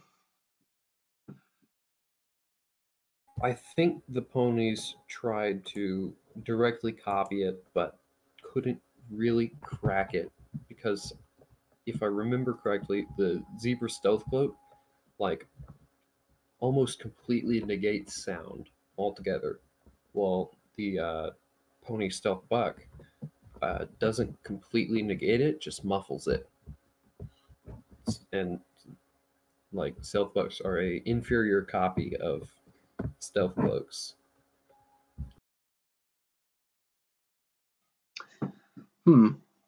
Well, this is a topic that we could spend forever on, but unfortunately, we do have to keep moving on. So let's move on to our next topic of the night Kirins in FOE. I believe you said you're going to have a diatribe about this one. Please, feel Yeah. free. I, I've already uh, apologized in advance to uh, the lovely host here, um, but audience, I apologize to you now. I have very, very strong opinions about Kirins, um, and you're about to hear them. Um, I hate Kirins, plain and simple. They should not be as important as the fandom makes them. Um, they only appeared in a meaningful way in one episode, which, in my opinion, was just a mediocre episode. Um, the main Kirin, Autumn, whatever her name is, I can't even remember her full name. Autumn, autumn leaf, autumn burst, Autumn Blaze it was. Autumn blaze. Blaze. Yeah. She's I don't she's just a mediocre character and I know this is um because the uh show producers were uh, on a time constraint, but all the Kirins, save for the big one, have the exact same body type. Like there's no difference between them other than eyelashes. Like with ponies you see even even in the same genders of course you've got uh, sexual dimorphism but um you see like ponies are skinny or fat or tall or short or have different shaped muzzles. Kirins all look the same. They there's nothing special about them uh, especially Nirik their Nirik form looks they literally look all the same. It's just copy and paste with i think if i remember correctly different changed eyes or something. Um but really just i don't think kirins should be as important as everyone makes them out to be there's like copious amounts of fan art of them which is uh, pretty grating to say the least. Um, well, it seems like every other week I see just mass spam of Kirin art. Um, but back to the original question Kirins info. Um, the Kirin community we see in the show is incredibly isolated. Like, barely anyone knew they existed. The ponies didn't even know who they were. Um, when they arrived. I don't think they would have been affected by the war at all. They don't have anything special to offer to either side. I mean, maybe Nirik form is more powerful some more powerful something, but in the episode, from what I remember, it's just like Kirin but angry and uh, un- a little bit uncontrollable. Um, yeah, I don't think they would be much of a. I don't think they would be affected by the war or the mega spells, uh, other than ambient radiation and nuclear winter and such. Um, I think they would get by relatively okay, if, depending on their actual geographical location, if it's far enough away from Equestria and the Zebra Nation. Um, maybe some would come to Equestria, break the isolation, um, travel the wasteland. Maybe some would go to the Zebra Lands, travel there. But it, I don't think they would be that important in the wasteland.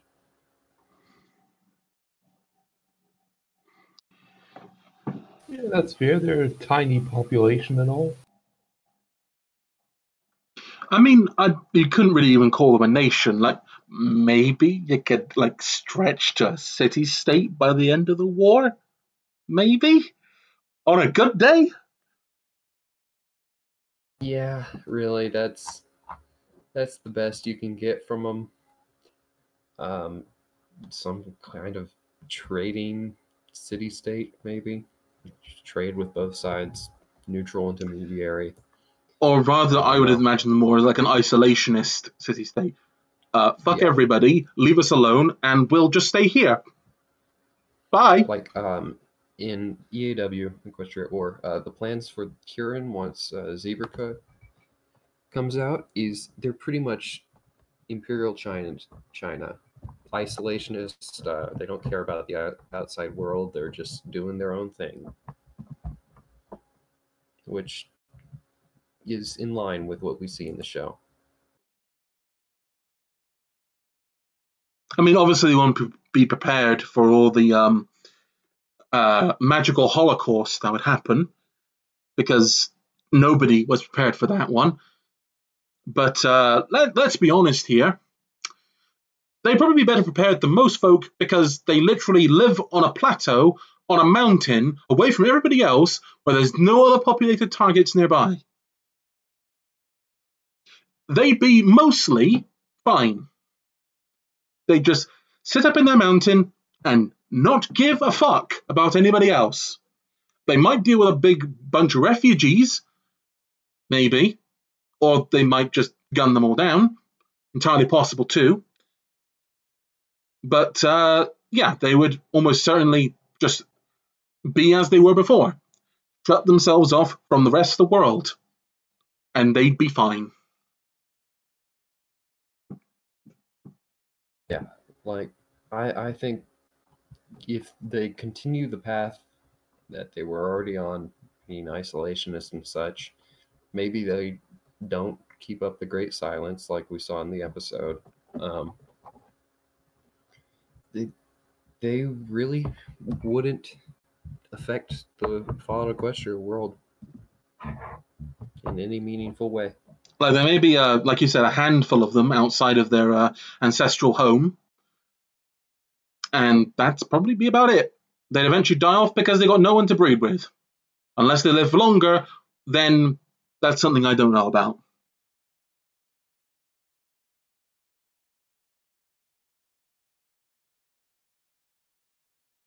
Unfortunately, there isn't that much to discuss about this. It's kind of just uh, they don't care. Uh, I want to address um, Jeremy Hummel's uh, comments about the the the bats being or thestrals being the same issue. Yes, it is the same issue. I have the same problem with uh, thestrals and the copious amount of uh, love the fandom seems to give them um, that I have with Kirin. Um, and he mentioned, uh, or she, I don't know, um, zebras zebras are developed in fallout equestria they're developed into actual people actual characters um, yes in the show they're not really that big of a deal, and they're not really that big of a deal in the fandom either. Um, they're just kind of there, kind of about the same amount of love that griffins or yaks are given. They they exist. Yeah, Um, the, on the point of bat ponies, what I don't like is this concept or thought that all the bat ponies live in Canterlot. yeah, Why would that be yeah, the definitely case? not. Um, Like I'm I'm willing to to give the ground and say that you know bat ponies don't exist in huge numbers, and they're not a significant part of the population. Like maybe what five ten percent of the population. yeah, they're definitely a minority, but I'm gonna be honest. I've been playing Equestria at War for so long that I don't see the bats living anywhere else but in the most remote part of the world, it's like in the deep jungles or in the mountains or whatever. That at least in where Equestria War, Equestria at War. at least in Equestria War, the reason why they are there is because everybody hates them. And they think they're all criminal scum. Yeah, those Doesn't- squeakers. D- don't uh, surprise me at all that they've been pushed to the outer reaches of everywhere, places where nobody wants to live. So, yeah. Strikes me that um, the idea that everyone thinks that all the bat ponies were living in Canterlot and they all died when the city got destroyed is silly. There'd be plenty of them out there, Yeah, but they'd still be a minority. that we've actually changed in Balefire Blues. Um, in the main stories of Fallout Equestria, there's Lionheart is the only one in the original story that we ever see, who's former night guard from Canterlot, or the uh, Black Mountain ones in Project Horizons, which are just that one which Project Horizons explains away as being the only Bat Pony nation or yeah, only large amount of Bat Ponies left in the wasteland. That's changed. Um, Yeah, like, like have- that, that was silly. That was silly thinking that they're the only bat ponies. No, like you can't have a stable population from a couple hundred of them, even with inbreeding being considered. yeah. Um, actually, uh, in the first release, there will be more Bat Pony nations than there will be Zebra nations, seeing as how this is Equestria. It's where the ponies live.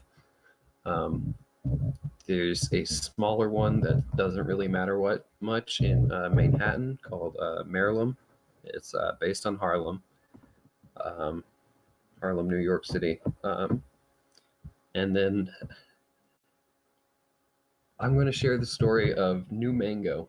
Honestly, I when I was creating it, I was just made it to fill space. Turns out, I had totally forgotten that uh, mangoes are kind of a meme in the fandom when it comes to bat ponies. because they're all fruit bats. Yeah. Um, and now we've actually got one of the head developers from Equestria at War, uh, Cyrus. He's actually on our team and is developing New Mango, and some of his work on it is really promising. Um, It's got the potential to become one of the uh, best minor nations in the the game right now. Looking forward to it. Uh, I'll probably have a little look see when it comes out, so I'll be interested. But anywho, let's move on to our last question of the discussion. Nope, that is the last question. That is the last question. So, given that, we'll move to our next commercial break, which is brought to us by uh, Sunrise Sarsaparilla.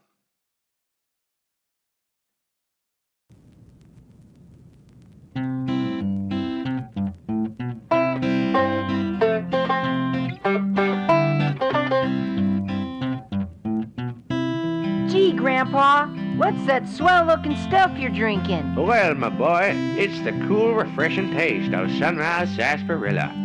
Unlike Sparkle Cola, Sunrise always stays smooth and carbonated.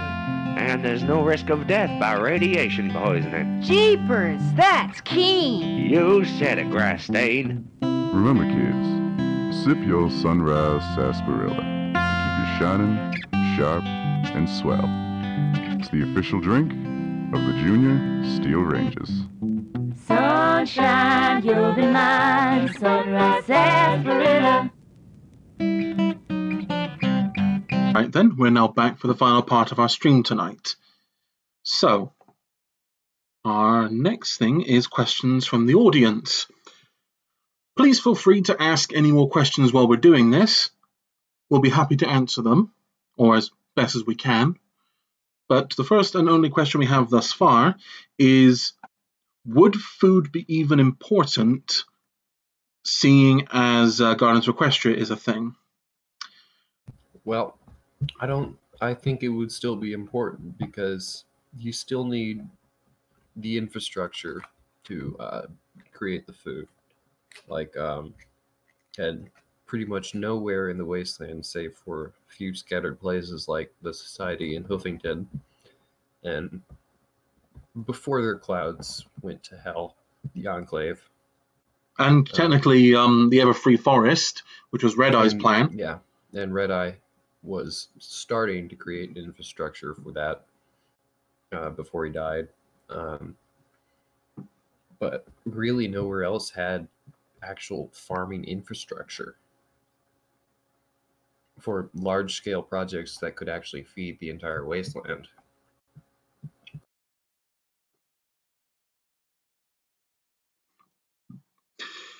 It would seem to me that anyone who already has farming infrastructure in place and people working for them to build up uh, food as is, when the land is cleaned of radiation, they're already in prime position to become the next Brahmin Baron or um, basically, uh, what's the right word? Basically, they'll, they'll, they'll be prime position to build plantations feeding the wasteland. Yeah, like uh, early Japan and their uh, rice kings. Oh yeah, the Sunrise Kingdom. Yeah, that was um this is just how farming and civilization works. Those who already have some infrastructure already get to benefit greatly when more stuff improves that. This is just an, a repeating of history at this point. Like, for example, you know, uh, if you know your history, civilization always started in dank river valleys that were nice and fertile, ideally had um, mild weather and predictable flooding cycles. Don't need all of these things, but having many of them is always beneficial. And building up society, which means you have invention and a concentration of population, just makes this easier and better. Those who are already running this just get better when things get improved for them. So it strikes me as Gardens of Equestria isn't quite the level leveling of the playing field as you may imagine it to be. It just entrenches those who already have uh, power and food over the wasteland into a much better position, seeing as they have the infrastructure, the money, and other assets to exploit it. Didn't expect to take a rip out of Das Kapital uh, today.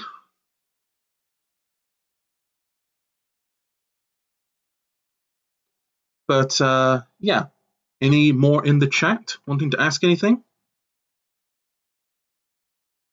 Yes, absolutely, there would be a refugee crisis. 100% there'd be a refugee crisis. Those poor, poor pigapets. Like, this is one of my big criticisms of Little Pip. Frankly, she killed more people because of her recklessness taking over control of the uh, the Enclave food operation than any raider, any organization, even Red Eye. She killed more people because of her actions. Yeah, I remember saying that she didn't want to uh, do it, but she would they kind of forced her hand. Like things were moving so fast when by the time she had actually gotten into the uh, SPP control room that she had to, or else the whole wasteland would be. She couldn't do it slowly. Cauterize was already in full swing. She had to stop it right there and then with one swift move. Oh, I That get it. And yeah, I don't think that she made the wrong decision there. But the, if anyone argues that somehow this was somehow a great moral choice, no, it absolutely wasn't. This was still a morally grey choice at best. You Yeah, definitely. see, so you can condemn the lives of thousands so the wasteland could have sun.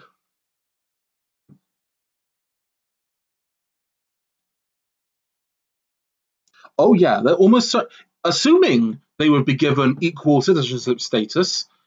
They'd absolutely be a massive voting bloc because they would vote for any politician that would either increase their role in society or reduce uh, any kind of discrimination by wastelanders, which would be great because wastelanders are, as a group of people, not exactly the most educated or tolerant groups of people.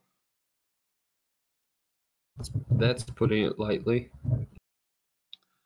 So, yeah, putting it mildly, they would be a very influential voting bloc in the early NCR, as same with slavers would be a very influential voting bloc. Now, here are my thoughts on this one. I once ran an FOE game uh, in a tabletop, which uh, BG can attest to, where the burgeoning NCR um, had to make an agreement with the slavers because I imagine that once Red Eye was gone and Stern started trying to take in the reins, like you tried to put in your mod, other slaver warlords that are part of Red Eye's empire would try to break away, all with their own armies of slaves, all with their own agendas and ideas of what they want to do. So the burgeoning NCR would have had enough material and manpower to fight any individual warlord and possibly even win. But they then leave themselves exposed to all of the other warlords from taking them out. So, in this universe I created, the NCR made a deal with them. They made a deal saying that any warlord that joined them could keep their personal slaves and they could keep and their closest um, entourage, as it were, could keep their personal slaves. But your broad majority of your army has to be made free, and any more slaves cannot be bought. In exchange, you become part of the NCR. This is something that I came up with because this seems like something that Gord would try to push for because it's a compromise that means that the NCR gets to live.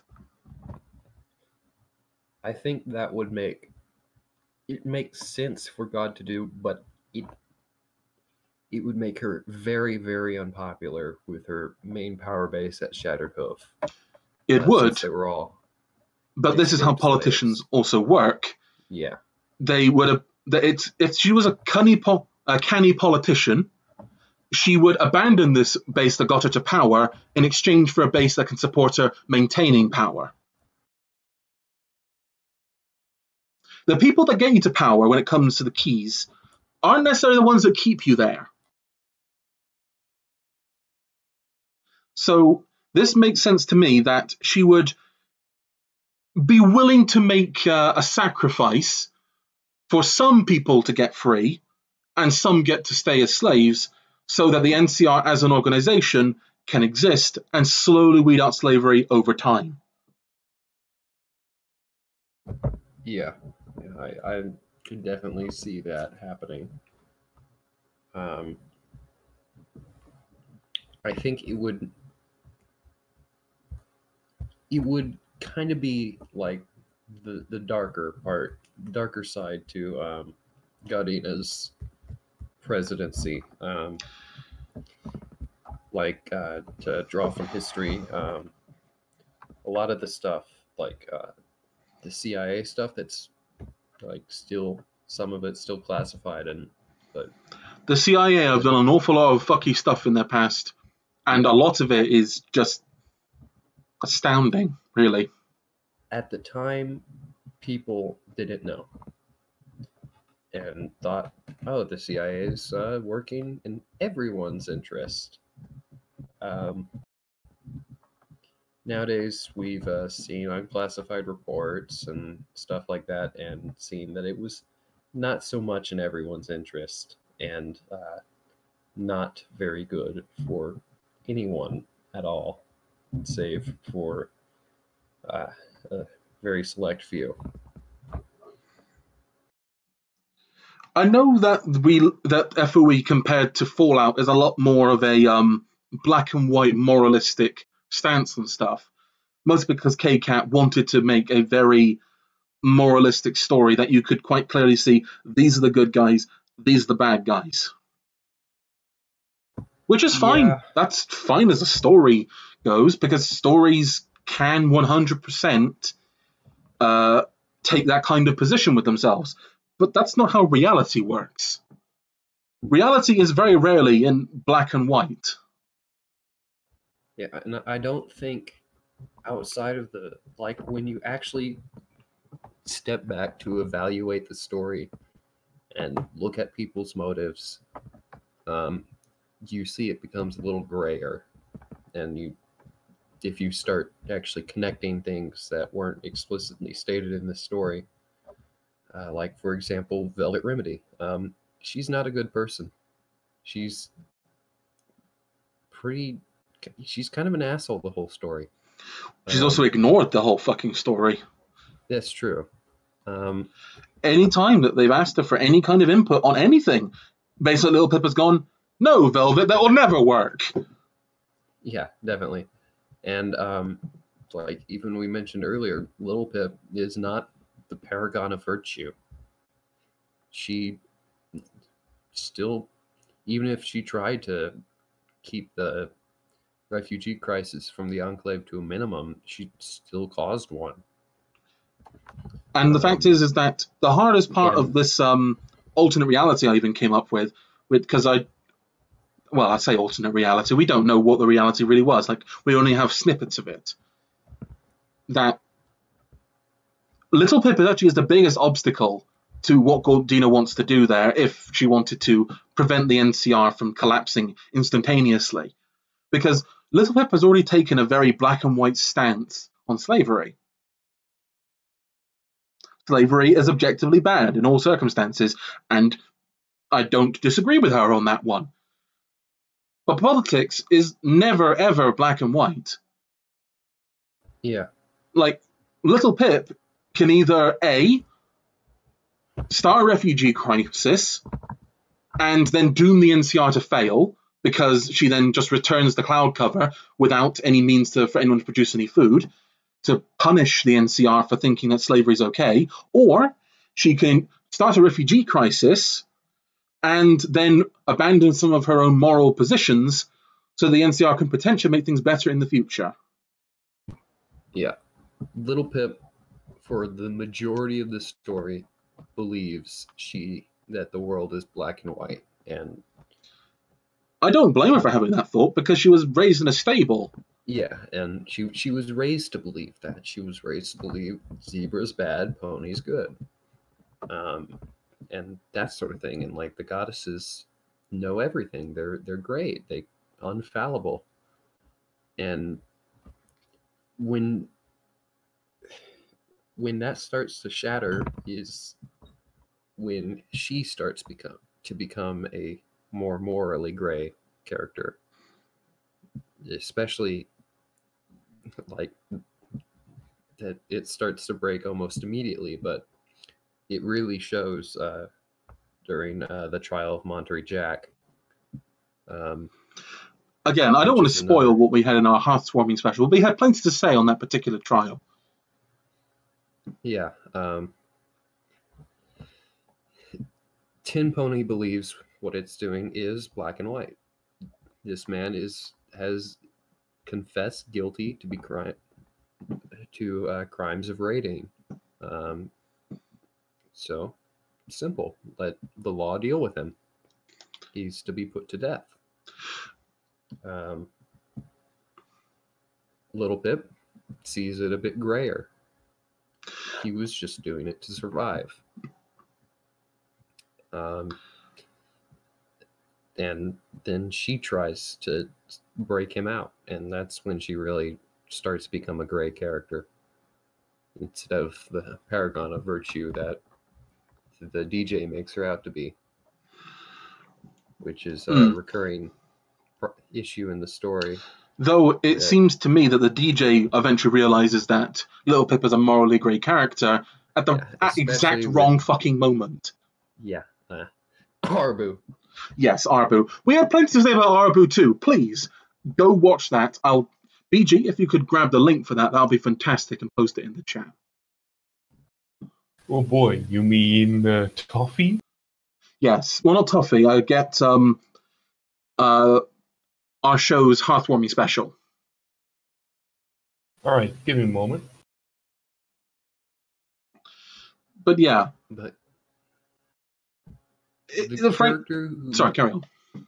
the character who really stays true to morals throughout the whole story, and it's one of the reasons he's my fav- my favorite character in this story is Calamity. Like he stays true no matter what, even when his best friend starts to uh, turn not so great. He still sticks to his morals. Like he he has doubt in Little Pip. He he knows she's not unfallible or infallible, um, and it makes the story better for it.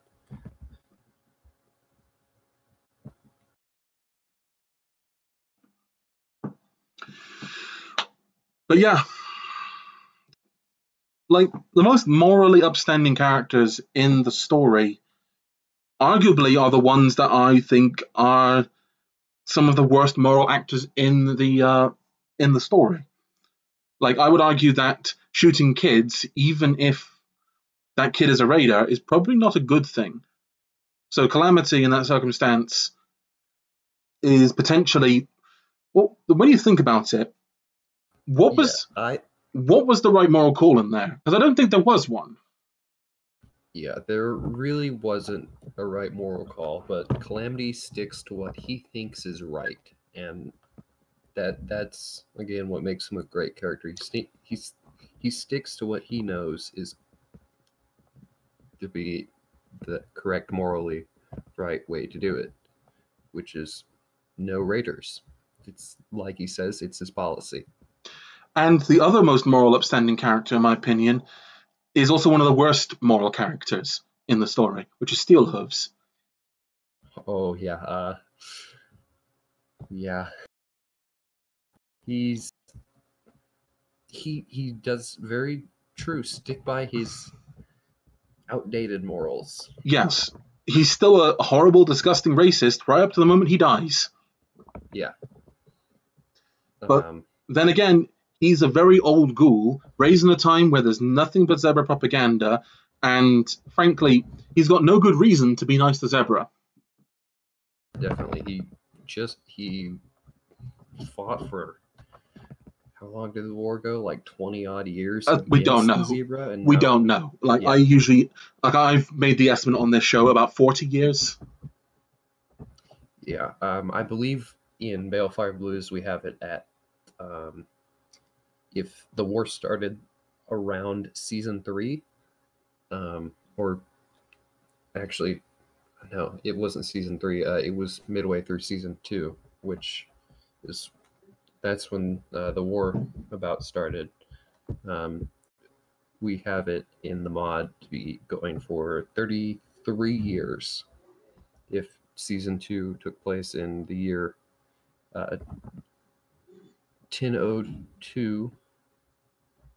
Um, means at the end of the war would be 1035. yes, which and the mod takes place 200 years after that in 1235. Mm. So, uh, Termy Hummel uh, br- brings up unlike Celestia. I'm not quite sure what you mean by that. Are you saying that she's not a morally upstanding character? Because I think she kept to her morals as well. She was willing to abdicate power to maintain her morals. Yeah, Celestia, he's one of the most morally driven characters. Like, um, like you said, she abdicated power to keep true to her morals and to not put anyone else in danger. And ironically, it was because she abdicated, which turned the war from a war over resources to a war of ideology, a war of holy war, effectively. And I, I don't know if she fully realizes that, but she knows she she knows after 200 years of her quote unquote punishment um, that what sh- that abdicating was the wrong decision. Eventually, she realizes that, and like uh, she she's punished for it for 200 years. She's forced to watch all the people that she cared about just go to shit. Yeah, all of her little ponies just uh, Yeah. morally decay and become a rancid canker on her once green and pleasant land. Yeah. And like she said in the fic, she stopped watching after the Enclave massacred. I think it was said to be like nearly a thousand people at uh, Friendship City. Um, I, I, I may be a little biased, but I think Celestia is one of the most intriguing characters in um, Fallout Equestria and the show in It's general. this. I like her because I p- prefer her over Luna as a character. Yeah, Luna has so kind I. of Luna has kind of become too much of a. yeah too much of a character within the fandom. She's too she's both too interesting and too edgy at the same time. Celestia, I think, is just a wholesome character. She's just I- trying I'm- to do right while being presented to the world as some godlike entity with unfathomable cosmic power.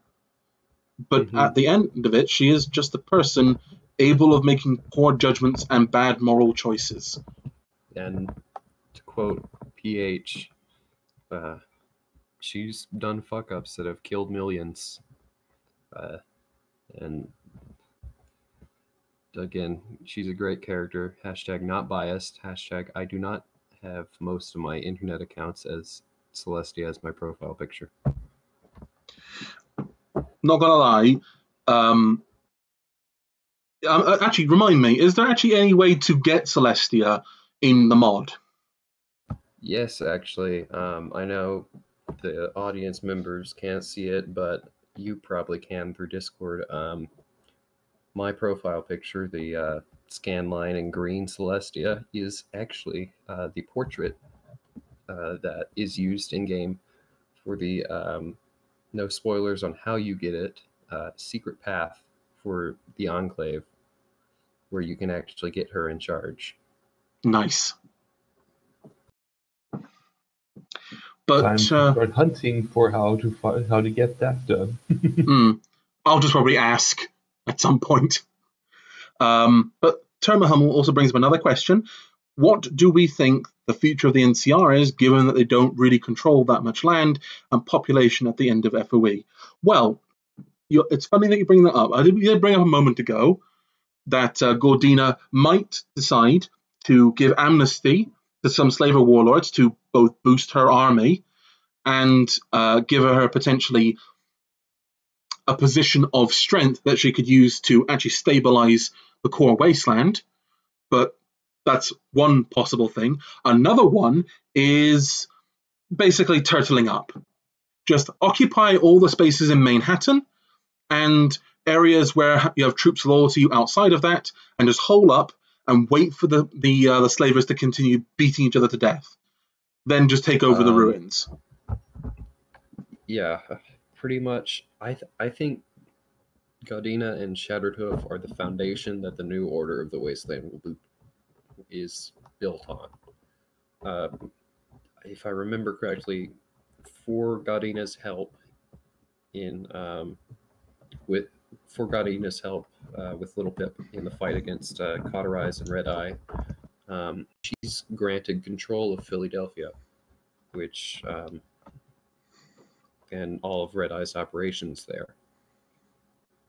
And it's likely due to the help that she sent to Tenpony during that same events and the camaraderie from that that Tenpony, the reigning power in Manhattan, would likely join the NCR and the rest of the wasteland would most likely follow suit, or at least places like New Appleloosa and things like that.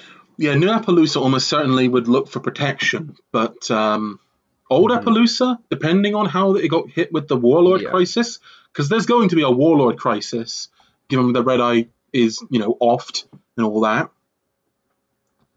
Um, maybe, maybe they join with the NCR. Maybe they become their own faction. Maybe they just become a vassal state of New Appleloosa.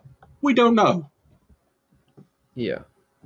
Um, I also think uh, at least the scattered rock farmers in the area around Shattered Hoof would join the NCR. And Oh yeah, they'd have pretty much no choice. yeah. Um, the the one faction I don't see joining the NCR is actually the Applejack's Rangers. Really?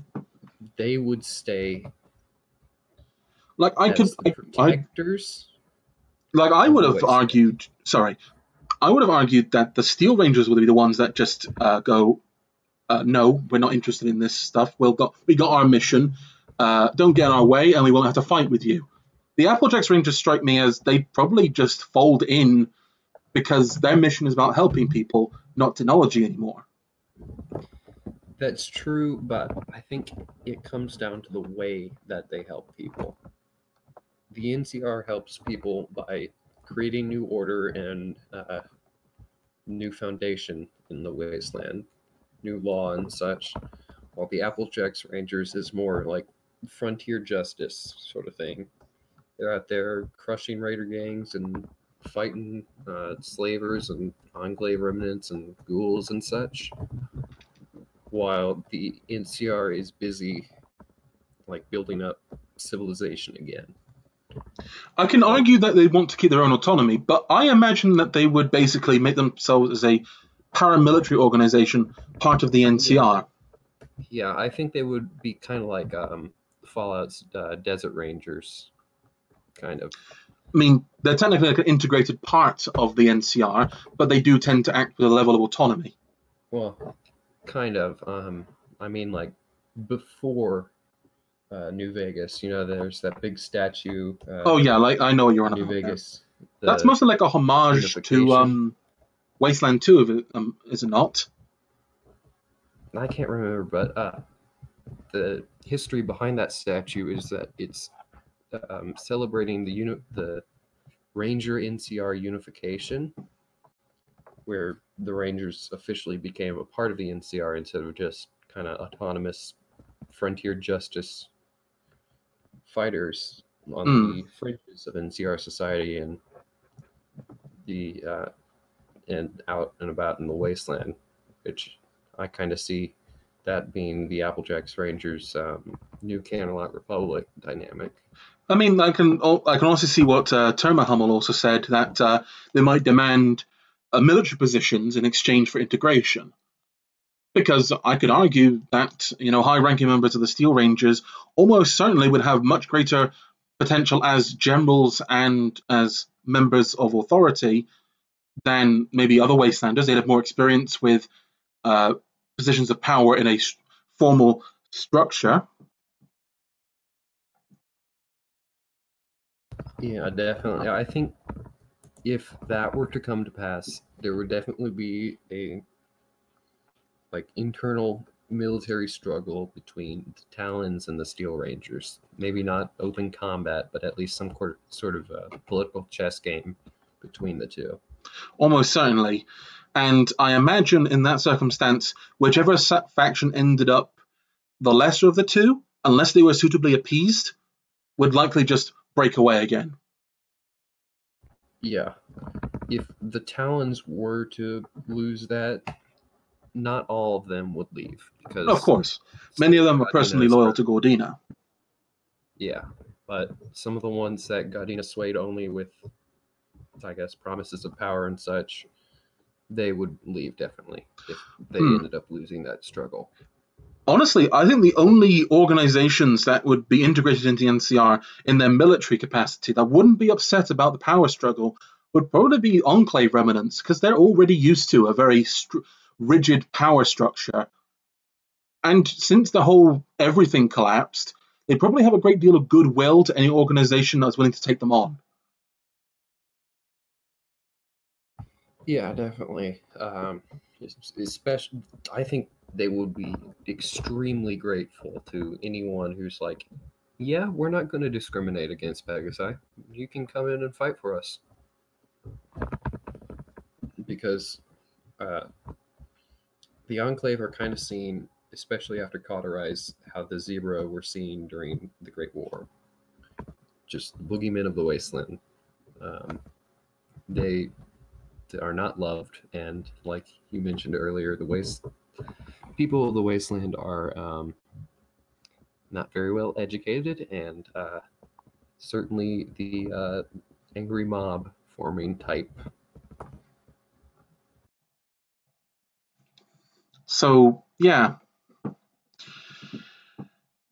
What else would happen? Well, obviously, they'd try to pick up pieces of Red Eye's plan that actually would work, like the rapid industrialization and the turning of the Everfree Forest into uh, farming land for both lumber, because you need lumber to build the wasteland, and food, because it's the only real large plot of untainted land in most of that part of the wasteland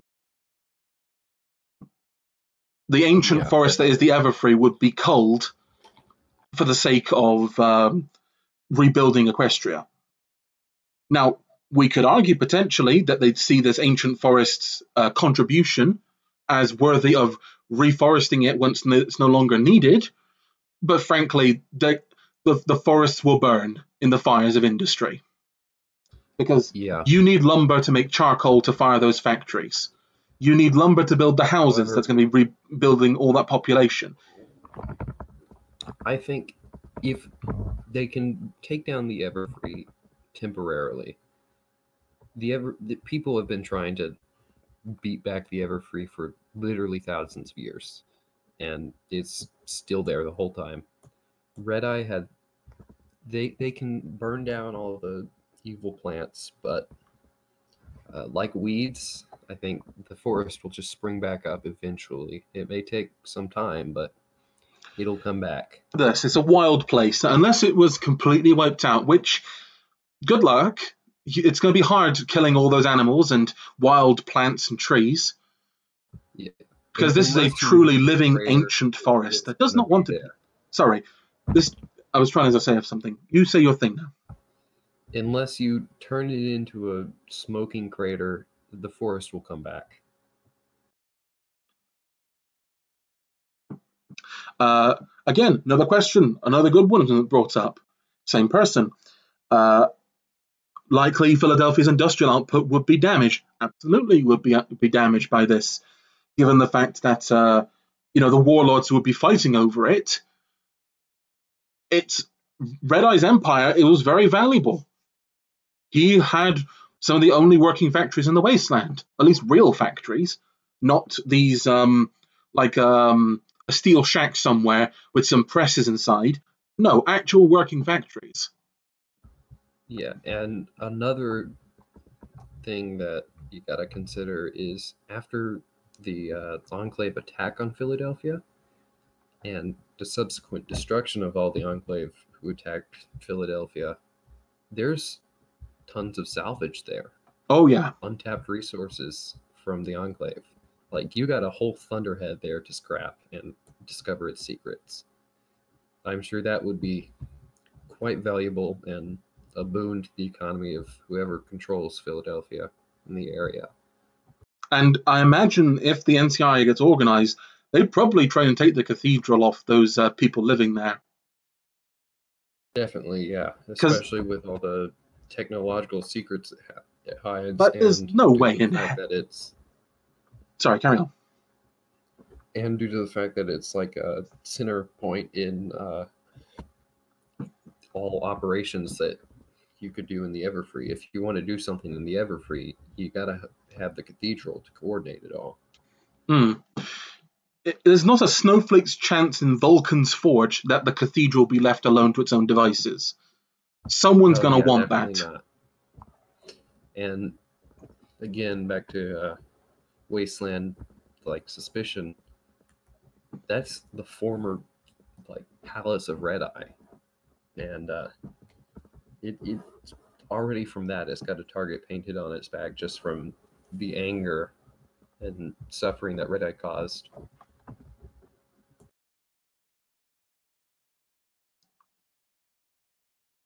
And Termahummel also brings up that there's a lot of slaves in Fillydelphia that aren't going to really want to go back to working in those factories. Seeing as the fact that they've been slaving away in them, sure, situation probably improve. Like they first would be paid for their work, and likely the conditions would be much better, and their children aren't someone's property. But they're not going to want to do that. They're not going to want to slave away in the factories for anybody. I think the thing that'll keep them there is fear of the unknown. Sure, it may have been bad here, but now we know it's going to get better here, but we don't know how bad things are outside of the city. Sure, we can hear from the radio, but maybe the radio's not always right. I think, yeah, I, I just think fear of the unknown would keep the uh, former slaves there, or most of them at least, some will definitely leave. Hmm. But yeah, anything you want to add, BG? Not a whole lot. The the general, you know, well, sluggishness in adopting to adapting to a new lifestyle, especially with you know the learned helplessness of slaves, probably would keep more of them there than would be willing to admit. Hmm. Well, I do imagine that um, that the choice would be put to them most likely. You can either a continue working in the factories, something that you have experience with doing, and now receive pay and better conditions, and your children aren't someone's property, and you get to live in an actual place once we build it. Uh, or you can go work in the Everfree, uh, becoming a farmer eventually once we've opened up some land for farming because they're going to need ponies to work that. And what's the biggest uh, puddle of manpower in the wasteland if it's not the slavery settlement of Fillydelphia? Yeah, definitely. Uh, like that's reflected in um, the mod. Actually, uh, Fillydelphia is the largest concentration of population in the whole wasteland. Um, it's it's split up. It's split up across a couple of uh, Tiles. states. Yeah, and um, but it's it's still I think like nearly thirty five thousand people there, or actually no, I think it's closer to forty thousand.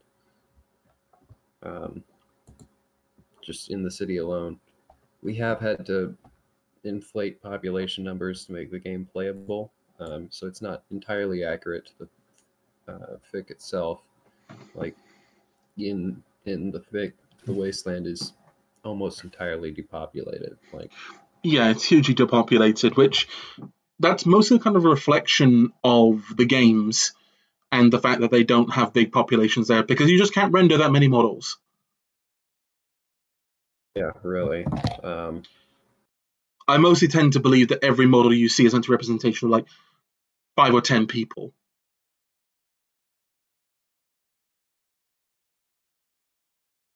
and like uh in the story new appleloosa only has like a hundred people living there probably i don't think an exact number is ever said but it, it's tiny it's like the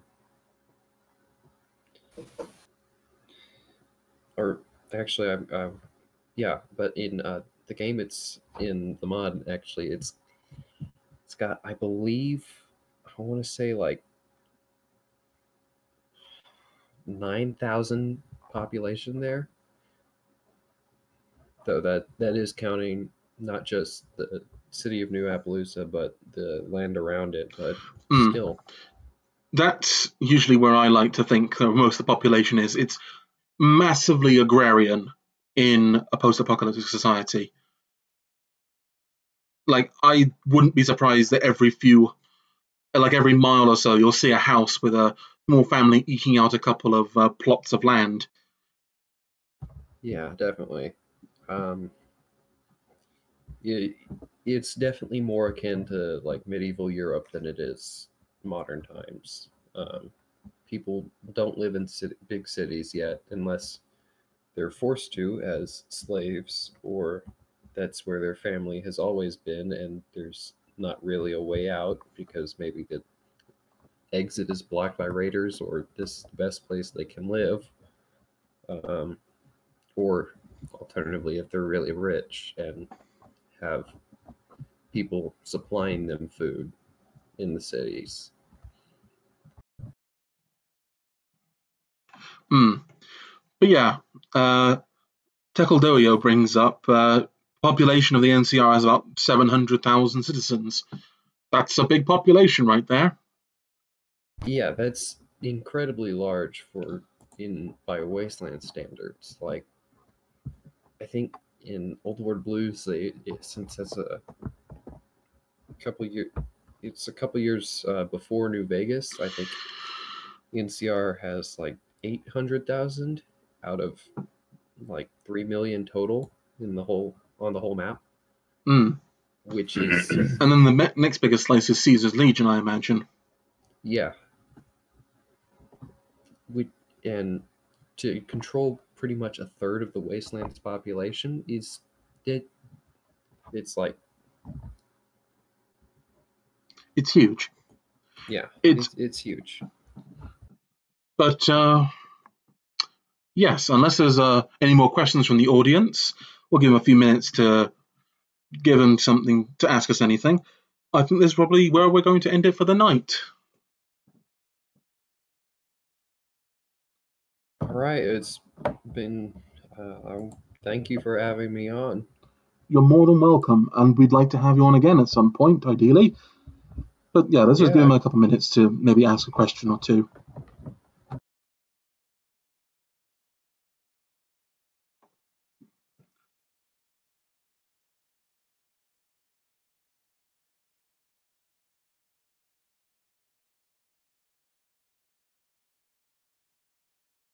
Riveting conversation. yeah uh, we are truly the most socially blessed people in the world All right then. Uh, looks like there's no more questions. Uh, let's move on to the end of the show then. So this has been Post Apoc Horse Talk with your host Galaegis and BG, and our guest tonight has been the Laundry. And until next time, keep your eyes trained and your gun in its holster, because you never know what the wasteland brings. And have a good night.